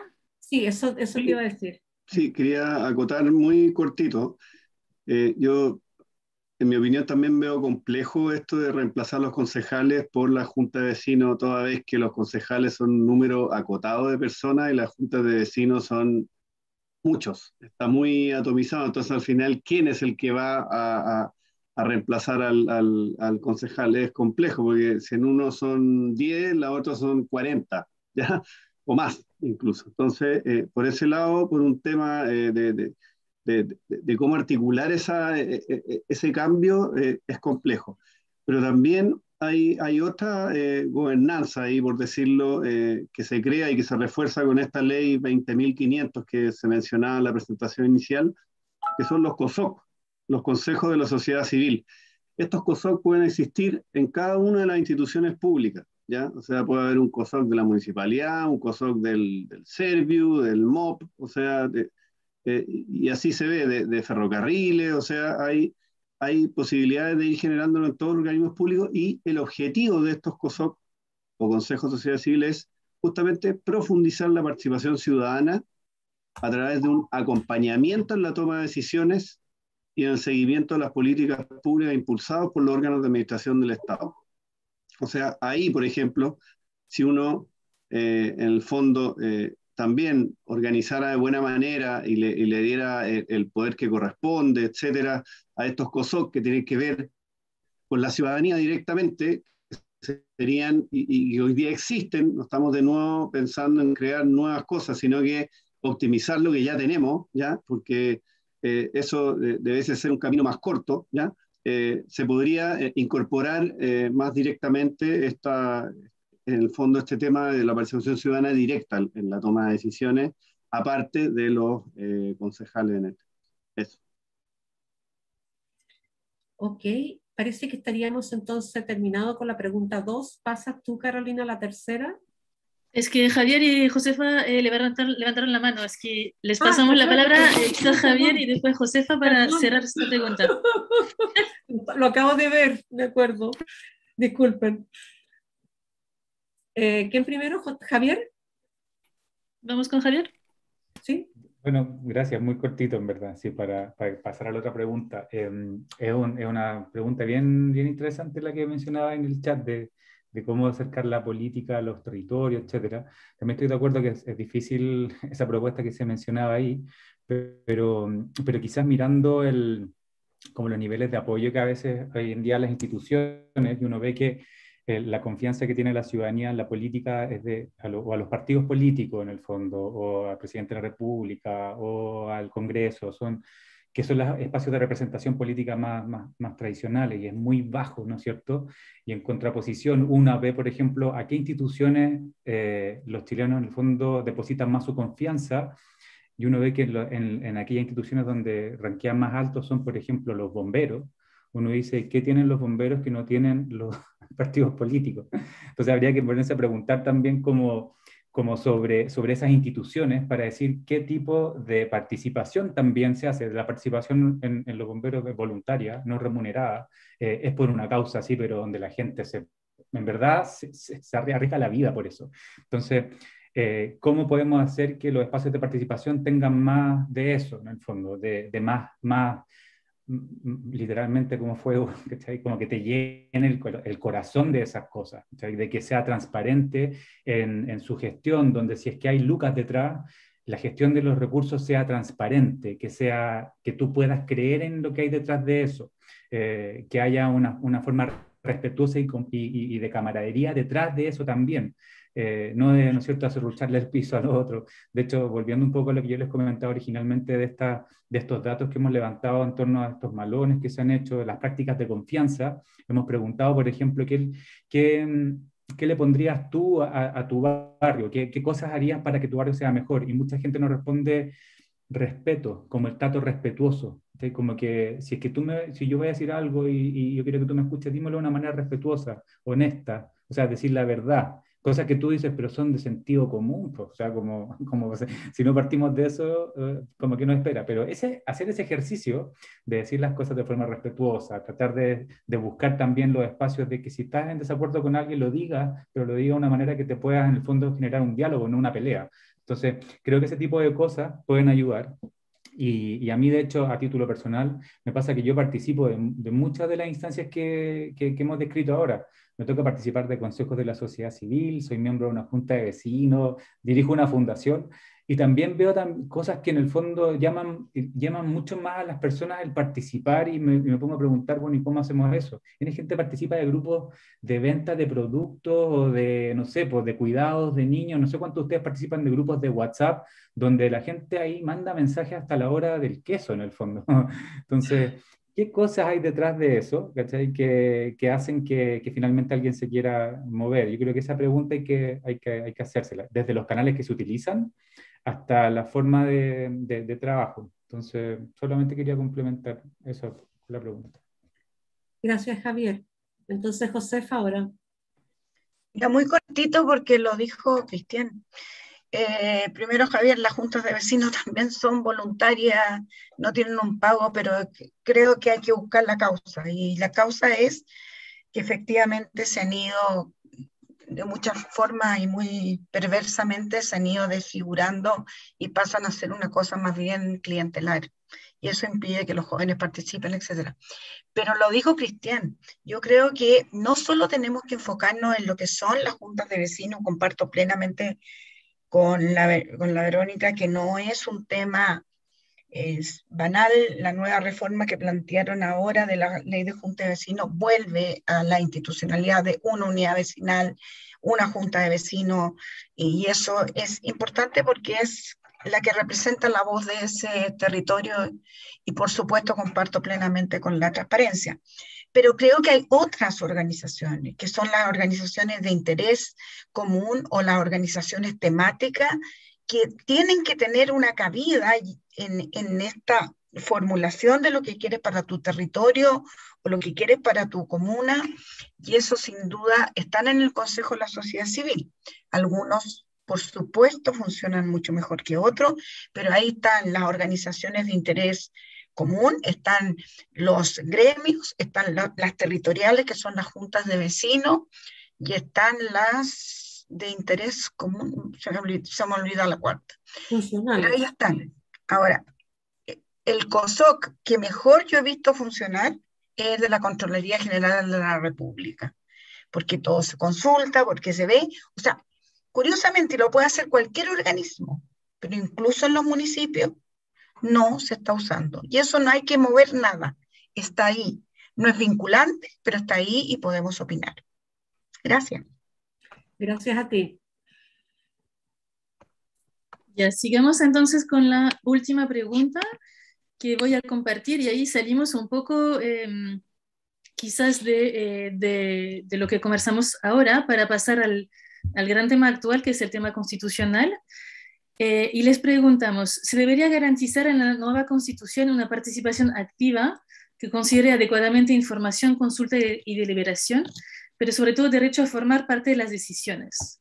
Es que en resumen, un poco esta pregunta tiene que ver con eh, qué cambios podemos eh, pensar en este nuevo contexto constitucional. Ya se mencionaron muchas ideas, eh, así que ahí abrir la, la, las respuestas hacia ahí.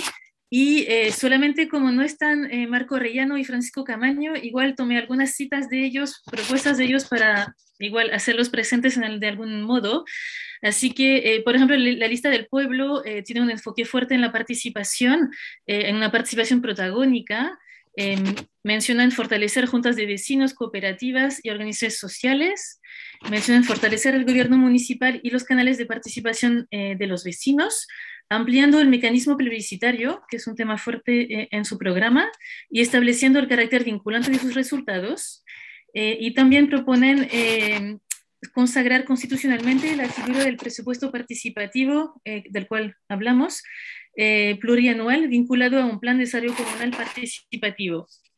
Más específicamente en la página de eh, Marco Correllano, eh, dice es necesario replantearse el concepto de democracia, dejando de entenderla como un acto electoral y pasando a una visión de democracia participativa a través de diversos instrumentos y mecanismos, como son, y ahí menciona tres que ahí escribí, los referéndum revocatorios, las iniciativas populares legislativas y constituyentes y el Estado plebiscitario.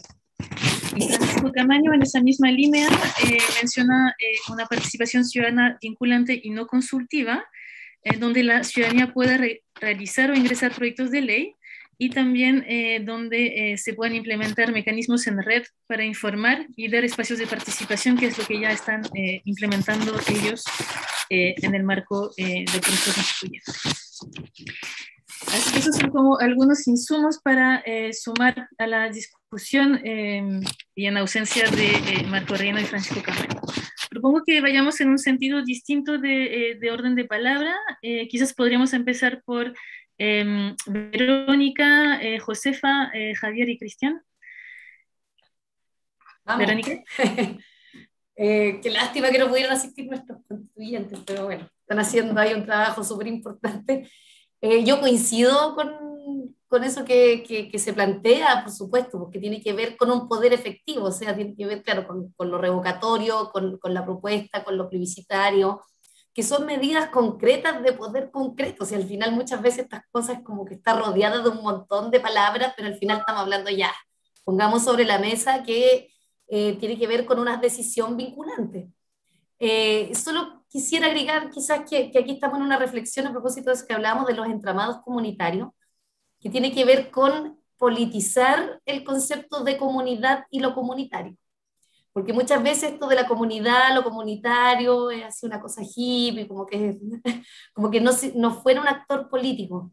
Entonces aquí lo que estamos pensando, que seguramente mucha más gente lo ha pensado, pero lo que estamos proponiendo de alguna manera es que la comunidad, lo comunitario, entenderlo como entramados comunitarios, que quiere decir que esta imbricación de no solo organizaciones, sino que va desde las personas que cuidan a los niños hasta puede ser un club deportivo, con todo lo que hay entre medio, los entramados comunitarios son fundamentales para la mantención de la vida.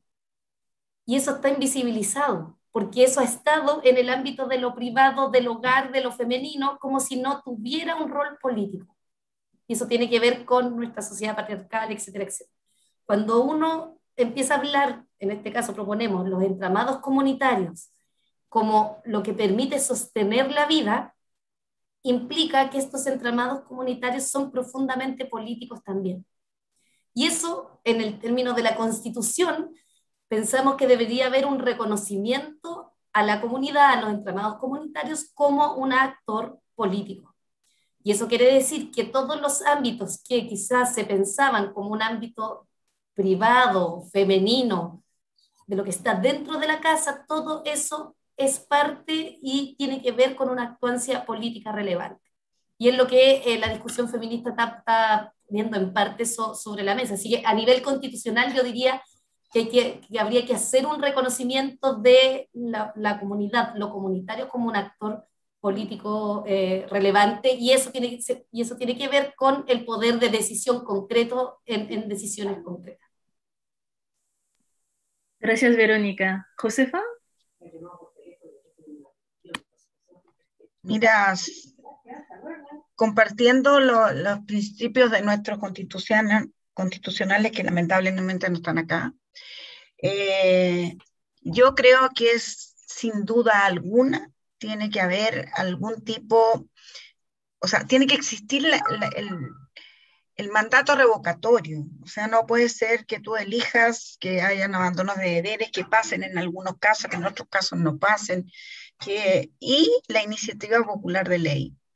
Por lo tanto, yo comparto plenamente con aquello y yo creo que también es muy importante que esta, dado que para nosotros cuatro, y fue como la participación o para los seis, la participación debe ser desde un comienzo.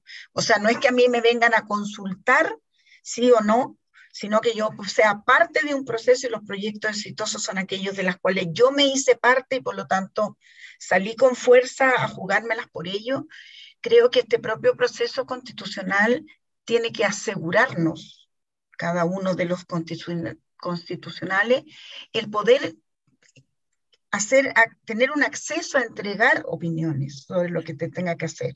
O sea, yo creo que ellos tienen que hacer alguna concejalía a nivel de distrito, o sea, ya sea con territorios, con comunas, con subterritorios, como se quiera, donde tú tengas la certeza que finalmente las propuestas que se puedan hacer, que, que queramos hacer llegar, puedan ser hechas y puedan ser hechas de manera fácil y accesible, o sea, en el lenguaje de cada uno de nosotros, porque eh, Cristian también planteaba en algún momento esta discusión el tema es que tú te niegas a participar porque ya hay tanta sigla, tanta, tanta cosa técnica que los vecinos comunes y corrientes lo dejan de entender, planes reguladores.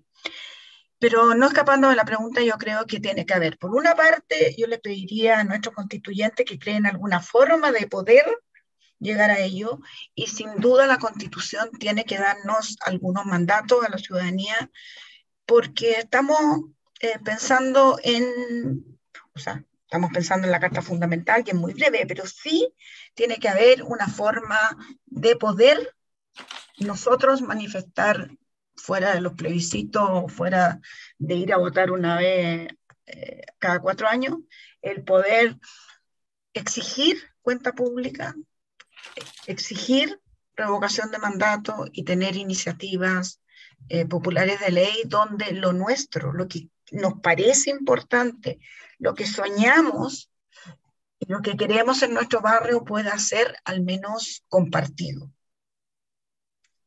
Eso. Gracias. Gracias. Javier. Eh, sí, yo voy a ser más controversial, no, no, que la Pepa no lo haya sido, sino con la pregunta, en verdad. Yo no estoy de acuerdo en, esa, en, esa, en, esa, en ese aspecto, pero no porque no, no debería estar, sino como quizá un poquito más, em, más allá, que no se debería solamente garantizar la Constitución una participación activa que considere informar, consultar y deliberar para ser parte de una toma de decisión, sino para ser parte de la construcción, como que, ser, que uno en el fondo no sea un espectador en la participación, de que me informé, de que voté y tomé una decisión informada y yo fui un espectador del proceso, porque finalmente igual eso es, sino como tratar de mirarlo desde una vereda más de cómo, cuándo entro yo a, a, poder también meter las manos ahí, ¿cachai? ¿Cuándo, cuándo puerto yo en mi rol más de, de protagonista del proceso? Y eso puede que sea otra conversa en el fondo, no solamente como eh, quizás estirar el tejo aún más pasado, es como correr un poco el, el, el cerco y decir, no solamente yo participo de un proceso, por ejemplo, de ir a votar por un parque, que hayan em, más áreas verdes, sino cuando entro yo, por ejemplo, a poder ir a plantar mi árbol, por decir un, caso muy, un, un, ejemplo muy burdo. Cuando entro yo, por ejemplo, a, a, ser el que también recicla, y no solamente es la empresa la que me retira el reciclaje o el municipio el que lo hace. Cuando soy yo el que emprendo con mi negocio en un barrio que yo voté en un plan regular que sea una zona comercial. Cuando en el fondo empiezo a superar las barreras que me impiden llevar el tipo de vida que tengo razones para valorar, que tiene que ver con el fondo poner en el desarrollo humano en el centro de la conversación. Porque muchas veces hay barreras que nos impiden ser parte de esto. La barrera de la burocracia que me impide participar, o una barrera que tiene que ver con que los métodos están eh, eh, anquilosados en formas antiguas, entonces me aburre participar. Hay una serie de barreras que tenemos que superar para transformarnos en protagonistas de ese proceso. Yo esperaría que la Constitución no solamente eh, nos invite como a ser buenos espectadores en todas las etapas, sino que básicamente nos deje un, un, espacio para también ser protagonistas de emprender con algo, de poder ser voluntario, que yo participo en una, en una agencia pública, privada. Me parece que la, lo que se mencionó, lo mencionaba Cristian, lo de las agencias de ciudad, pueden ser espacios súper potentes de colaboración público-privada y sociedad civil, ¿no es cierto?, que sean más híbridos. Creo que mm, eh, esperaría que la Constitución también nos dé el espacio para poder en el fondo entrar a meter las manos en la masa, pues como, como que ser parte de los, protagonistas del proceso. Muchas gracias. Cristian. Sí, gracias. Eh, mira, el tema del, del, de, de que la constitución lo considere o no, eh, tampoco lo tengo tan claro, porque eh, yo tengo una dicotomía de otro tipo que significa eh, lo siguiente, y es el tema de cuándo la participación es vinculante o no es vinculante. O sea, si hay algo que al, a la comunidad le importa, es esa pregunta. O sea, a ver, yo voy a participar de este proceso, pero lo que yo diga va a ser tomado en cuenta o no. Yo creo que definir un mecanismo, un mecanismo que yo, como digo, no lo tengo claro, eh, de cuándo es vinculante y cuándo no, yo creo que despeja una serie de fantasmas y eh, abre la puerta para que entre mucho más gente y, y, en el fondo se genere mucho más interés en ser parte de las decisiones del, del territorio. ¿ya? Eh, eso yo creo que es clave, es clave. No, no sé si eso lo define la Constitución o lo define el perfeccionamiento de, de, alguna ley. La, la 20.500, por ejemplo, establece el derecho de participación ciudadana para lo que es la gestión pública, no para, no para los privados, que también tramitan proyectos vía eh, eh, eh, impacto ambiental, por ejemplo, o, declaraciones de impacto ambiental en el caso de proyectos que califiquen para eso. Pero yo, yo creo que esa, esa es como la, la, la, el gran desafío, es cómo yo en el fondo aseguro de que en el fondo lo que yo estoy aportando, los conocimientos que estoy poniendo sobre la mesa van a ser considerados o no. En mi experiencia, en mi experiencia, y perdón que sea autorreferente, pero nos toca mucho ver esto en el puerto, nosotros entramos por la tramitación medioambiental. Y lo que hace el, el Servicio de Evaluación Ambiental es filtrar. Y, lo, y porque, no sé, le llegan 2.000 observaciones, comentarios, sugerencias, recomendaciones, y de esas pasan 500, y el resto no. Entonces, quizá el desafío está en eso, está, está en ese mecanismo de filtro en el cual ojalá la mayor cantidad de personas se siente identificada con ese proceso, porque, o sea, eso hay que hacerlo igual. O sea, uno no es que reciba 200 observaciones y fíjese que ahora presenta un proyecto o una iniciativa, una idea, y aquí están sus 200 observaciones solucionadas. Eso es imposible. Entonces, tienen que haber criterios, tiene que haber indicadores, tiene que haber un protocolo, etcétera, hoy día no está tan claro, no está tan claro. Y, y eso también genera mucha eh, desconfianza eh, en las personas. O sea, eh, uno lo escucha, lo primero que te dicen, oye, pero ¿es vinculante o no es vinculante? Eh, no, sabes que es, eh, va, va, a ser consultivo, va a ser una referencia para toma de decisiones, y ahí, no sé, un, un cuarto se bajó allá. Y la mitad del proceso se baja a la otra mitad. Entonces, eh, yo, yo, creo que ese tema, y, y, y, perdón que lo rebusca algo tan puntual, pero encuentro que es clave. O sea, de, definir si es vinculante o no es lo que llama a alguien a que participe o no, o, o, abrir la puerta de una mayor participación, yo creo. Así que ahí hay un tremendo desafío, no tengo la respuesta y no sé tampoco si es materia de la Constitución o de alguna ley especial o, o reglamento también podría ser. Eso. Muchas gracias. Sí, creo que el tema vinculante es un gran tema en Chile, pero que de manera eh, eh, o sea, interesante, en otros países no es el tema tanto, sino lo incidente. Eh, pero aquí como lo que no es vinculante no se hace, hay una, un desfase, ¿no? Porque, eh, por ejemplo, yo soy francesa, en Francia los procesos de participación para los proyectos grandes se hacen por una agencia independiente que da una, o sea, hace todo un proceso, da una recomendación pública que no es vinculante. Pero es muy difícil que no se respete porque se hizo todo un proceso independiente, se publica, la empresa o la autoridad, depende si el proyecto es del Estado o de una empresa, es muy difícil que no respete esta recomendación porque hay toda una legitimidad detrás, ¿no? Eh, pero obviamente que si no es incidente, tiene que ser vinculante. Ahí, pero hay un, un juego que, que, es muy fundamental en Chile actualmente. Eh, nos quedan 15 minutos. No sé si damos una vuelta final, si alguien quiere agregar algo, eh, o si hacemos un cierre, eh, Viviana. Quizás dejemos la palabra si alguien quiere decir algo final y hacemos un breve cierre después. Sí, solo coincidir, Carolyn, con... claro, lo que pasa es que hay una historia larga de, de, las promesas de la participación. Por supuesto. Y uno lo ha visto y es, y es agotador.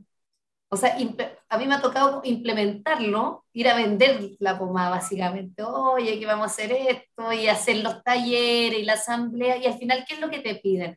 Te piden el, el papel con la firma de, que asistieron las personas y ya está. Y, esa y ojo, las instancias de participación son después del trabajo. O sea, son tipo 7 de la tarde cuando una persona tenía una jornada de 12 horas por lo menos. Entonces es muy frustrante muy frustrante. Eh, es frustrante para el que implementa como para el que participa. Hay que decirlo también que ahí están como los, no operadores, sino que los que implementan la política pública en el área, en la cancha, es, es un ejercicio completamente agotador y completamente esquizofrénico. Porque uno sabe que está implementando esto, que está cumpliendo ciertas cosas y que esos papeles después van a llegar y da lo mismo y todo el y más, o menos todos sabemos que da lo mismo, y en el taller igual es bacán, porque uno conversa cosas, y, pero uno sabe que eso no tiene ningún trasfondo, entonces por supuesto que la gente se va, lo primero que va a preguntar, oye, ¿para qué voy a ver, para qué yo voy a sacrificar el poco tiempo que, que no tengo en verdad?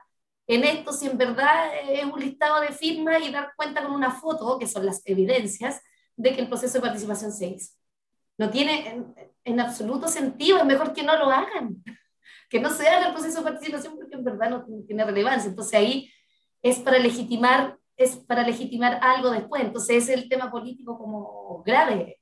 Resolver eso, volver a instalar las confianzas, tiene que ver con, yo creo, con la que, que, efectivamente sea vinculante. En este momento en Chile al menos es primordial. Y luego espero lleguemos a ese otro nivel donde es tan legítimo que ya se, se instalará por sí mismo, y etc. ¿Alguien más?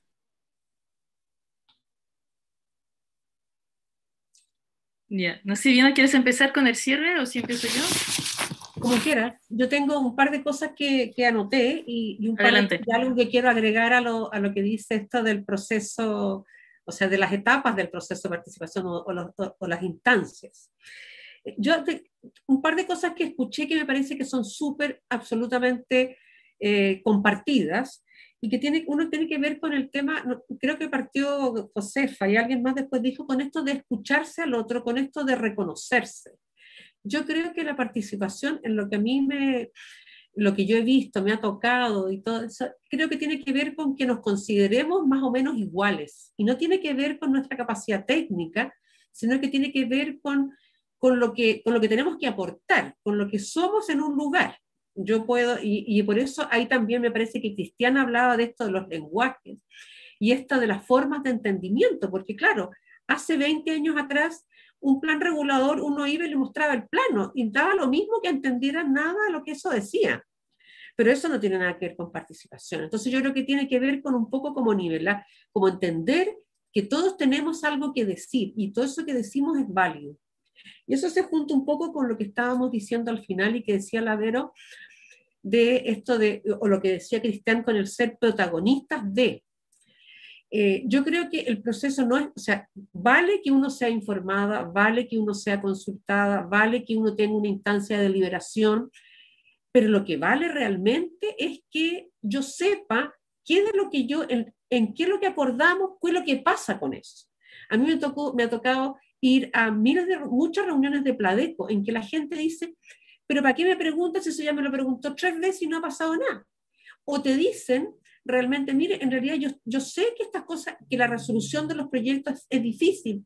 Nosotros lo que nos gustaría es saber qué es lo que va estando mal, porque a lo mejor podemos ayudar. Ingenuamente te dicen, nosotros a lo mejor podemos ir a, no sé, mandar una carta. Entonces, la, gente en el fondo quiere, quiere saber en qué están. No es que vaya y después, o sea, es como realmente cada vez uno lo siente más como por cumplir, para que yo hice, yo diga que hubo una participación.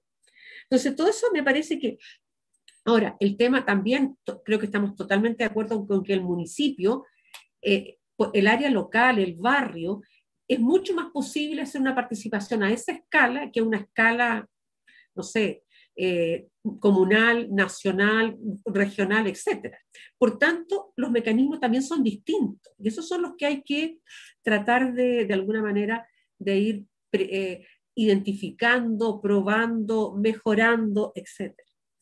Y alguien, por, cuando alguien tocó el tema de la cuenta pública, y yo creo que el tema de la cuenta pública, no, a, mí, a mi parecer, no tiene mucho sentido. Hoy día la cuenta pública se toma como un dar cuenta de lo que hicimos, pero que para mí no es lo mismo que decir eh, que primero que nada establecer lo que, colectivamente, qué es lo que queremos hacer y después dar cuenta de lo que pudimos hacer.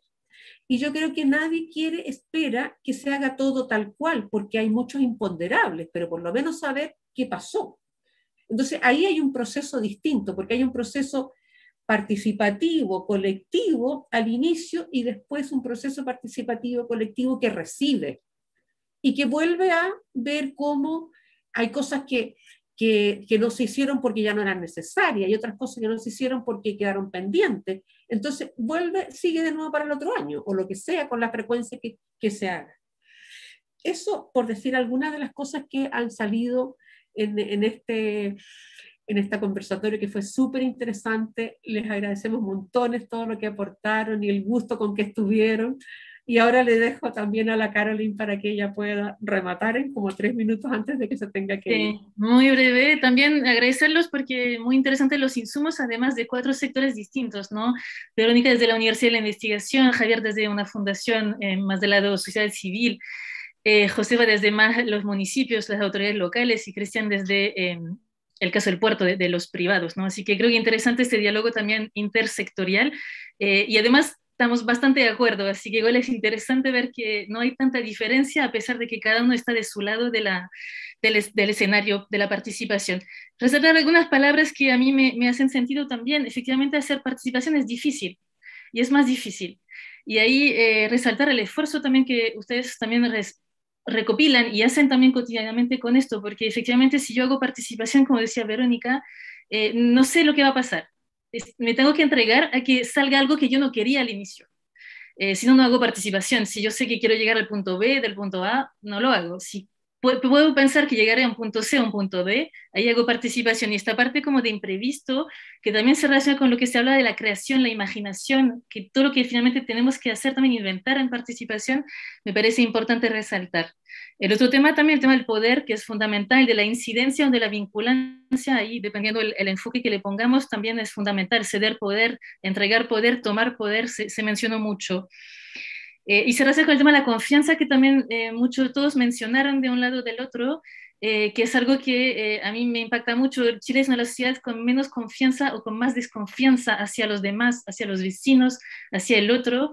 Y eso creo que espero que este momento constitucional restaure un poco las confianzas, porque hay todo un trabajo y, y, yo creo que es una característica sociocultural acá muy fuerte y que se explica por muchas razones, ¿no?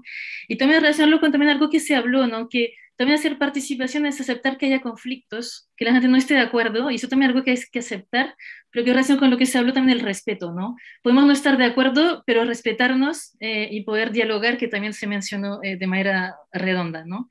Así que eso nomás, yo creo que mucho más ideas salieron de aquí, mucho más concretas, pero um, me alegra un poco eh, que todos estén de acuerdo en pensar, en repensar esta participación como algo fundamental en, nuestro, en, este, en este nuevo momento histórico, ¿no? Em, que no sabemos qué va a pasar, pero ojalá pase algo. Eso, así que agradecerles también mucho su participación. Eh, yo creo que ha sido una conversación bien interesante y, y, agradecer a la Cámara también que organizó este evento y nos dejó totalmente libertad con Viviana de invitar a quien quisiéramos. Así que también agradecer eh, esa apertura también, porque no necesariamente se, se, hace siempre, ¿no? Abrir espacios que son más institucionales y más del lado privado, ¿no? a actores más sociales. Eso, no sé si alguien quiere hacer un saludo final y, de ahí vamos cerrando porque nos quedan cuatro minutos. Yo quiero un segundo para, para, o sea, para compartir lo que dice Caroline y agradecer a la Cámara porque realmente ha sido muy grato que a uno le den, no siempre sucede, que a uno le den un espacio absolutamente libre, o sea, desde los invitados, desde las preguntas, desde el formato, etc. Así que muchas gracias. Yo, también quería aprovechar, perdona, agradecer la oportunidad, muy interesante. Eh, me ha tocado participar de cosas de la Cámara anteriormente y hacer una aclaración de algo que dijo Caroline. Eh, los puertos son estatales. Yo estoy hablando desde, desde una institución pública. Eh, independiente Perdón, que, no, no, Gracias. está bien. Independiente que tengamos concesionarios privados, eh, eh, en el fondo la autoridad portuaria es un organismo público. Así que estamos, yo creo que en la misma sintonía todos. Eso. Y gracias. Ok. Bueno. Oye, yo muy cortito, solamente les quiero dejar en este chat ahí un link ahí de cómo volver a confiar en tiempos de crisis. Es una, Fantástico. un reporte que, que, lanzamos hace un par de meses que tiene que ver con la experiencia de trabajar en experiencias de participación en la calle, en espacios públicos, y cómo ahí hay una, hay una llamita que hay que, que hay que hacer crecer ahí, una semillita para poder eh, hacer florecer la cosa. Así que muchas gracias Viviana, muchas gracias también a, a la Pepa, qué bueno verla de nuevo, a, a Verónica, a Cristian, eh, Caroline, Viviana, muchas gracias. Muchas gracias a ustedes nuevamente. No, muchas, muchas, muchas gracias por la invitación, gracias a la Cámara por estos espacios y la verdad que fue muy, muy rico. Uno siempre aprende, todos los días aprende hasta cuando la meten en el pijamite palo, así que mil gracias y encontrarse, Javier, realmente de vuelta y en el mismo tema es increíble. Pues ya nos veremos. Cuídense mucho y muchas, muchas gracias, Viviana, por el contacto inicial. Un gusto, Caroline, un gusto, Verónica, un gusto, Cristian. Gracias. Gracias por la invitación. Cualquier cosa en Talca, aquí estamos. Así que esta instancia sirve para quedar conectada también. Seguimos en Estamos en la Muni de Provi, es más fácil. Cualquier cosa estoy ahí. De todas maneras. Chao, gracias. Chao, Muchas gracias a todos. Tengo que anotar lo de, lo de Javier. Chao, chao. Un gusto. Igual. Chao. Chao, chao.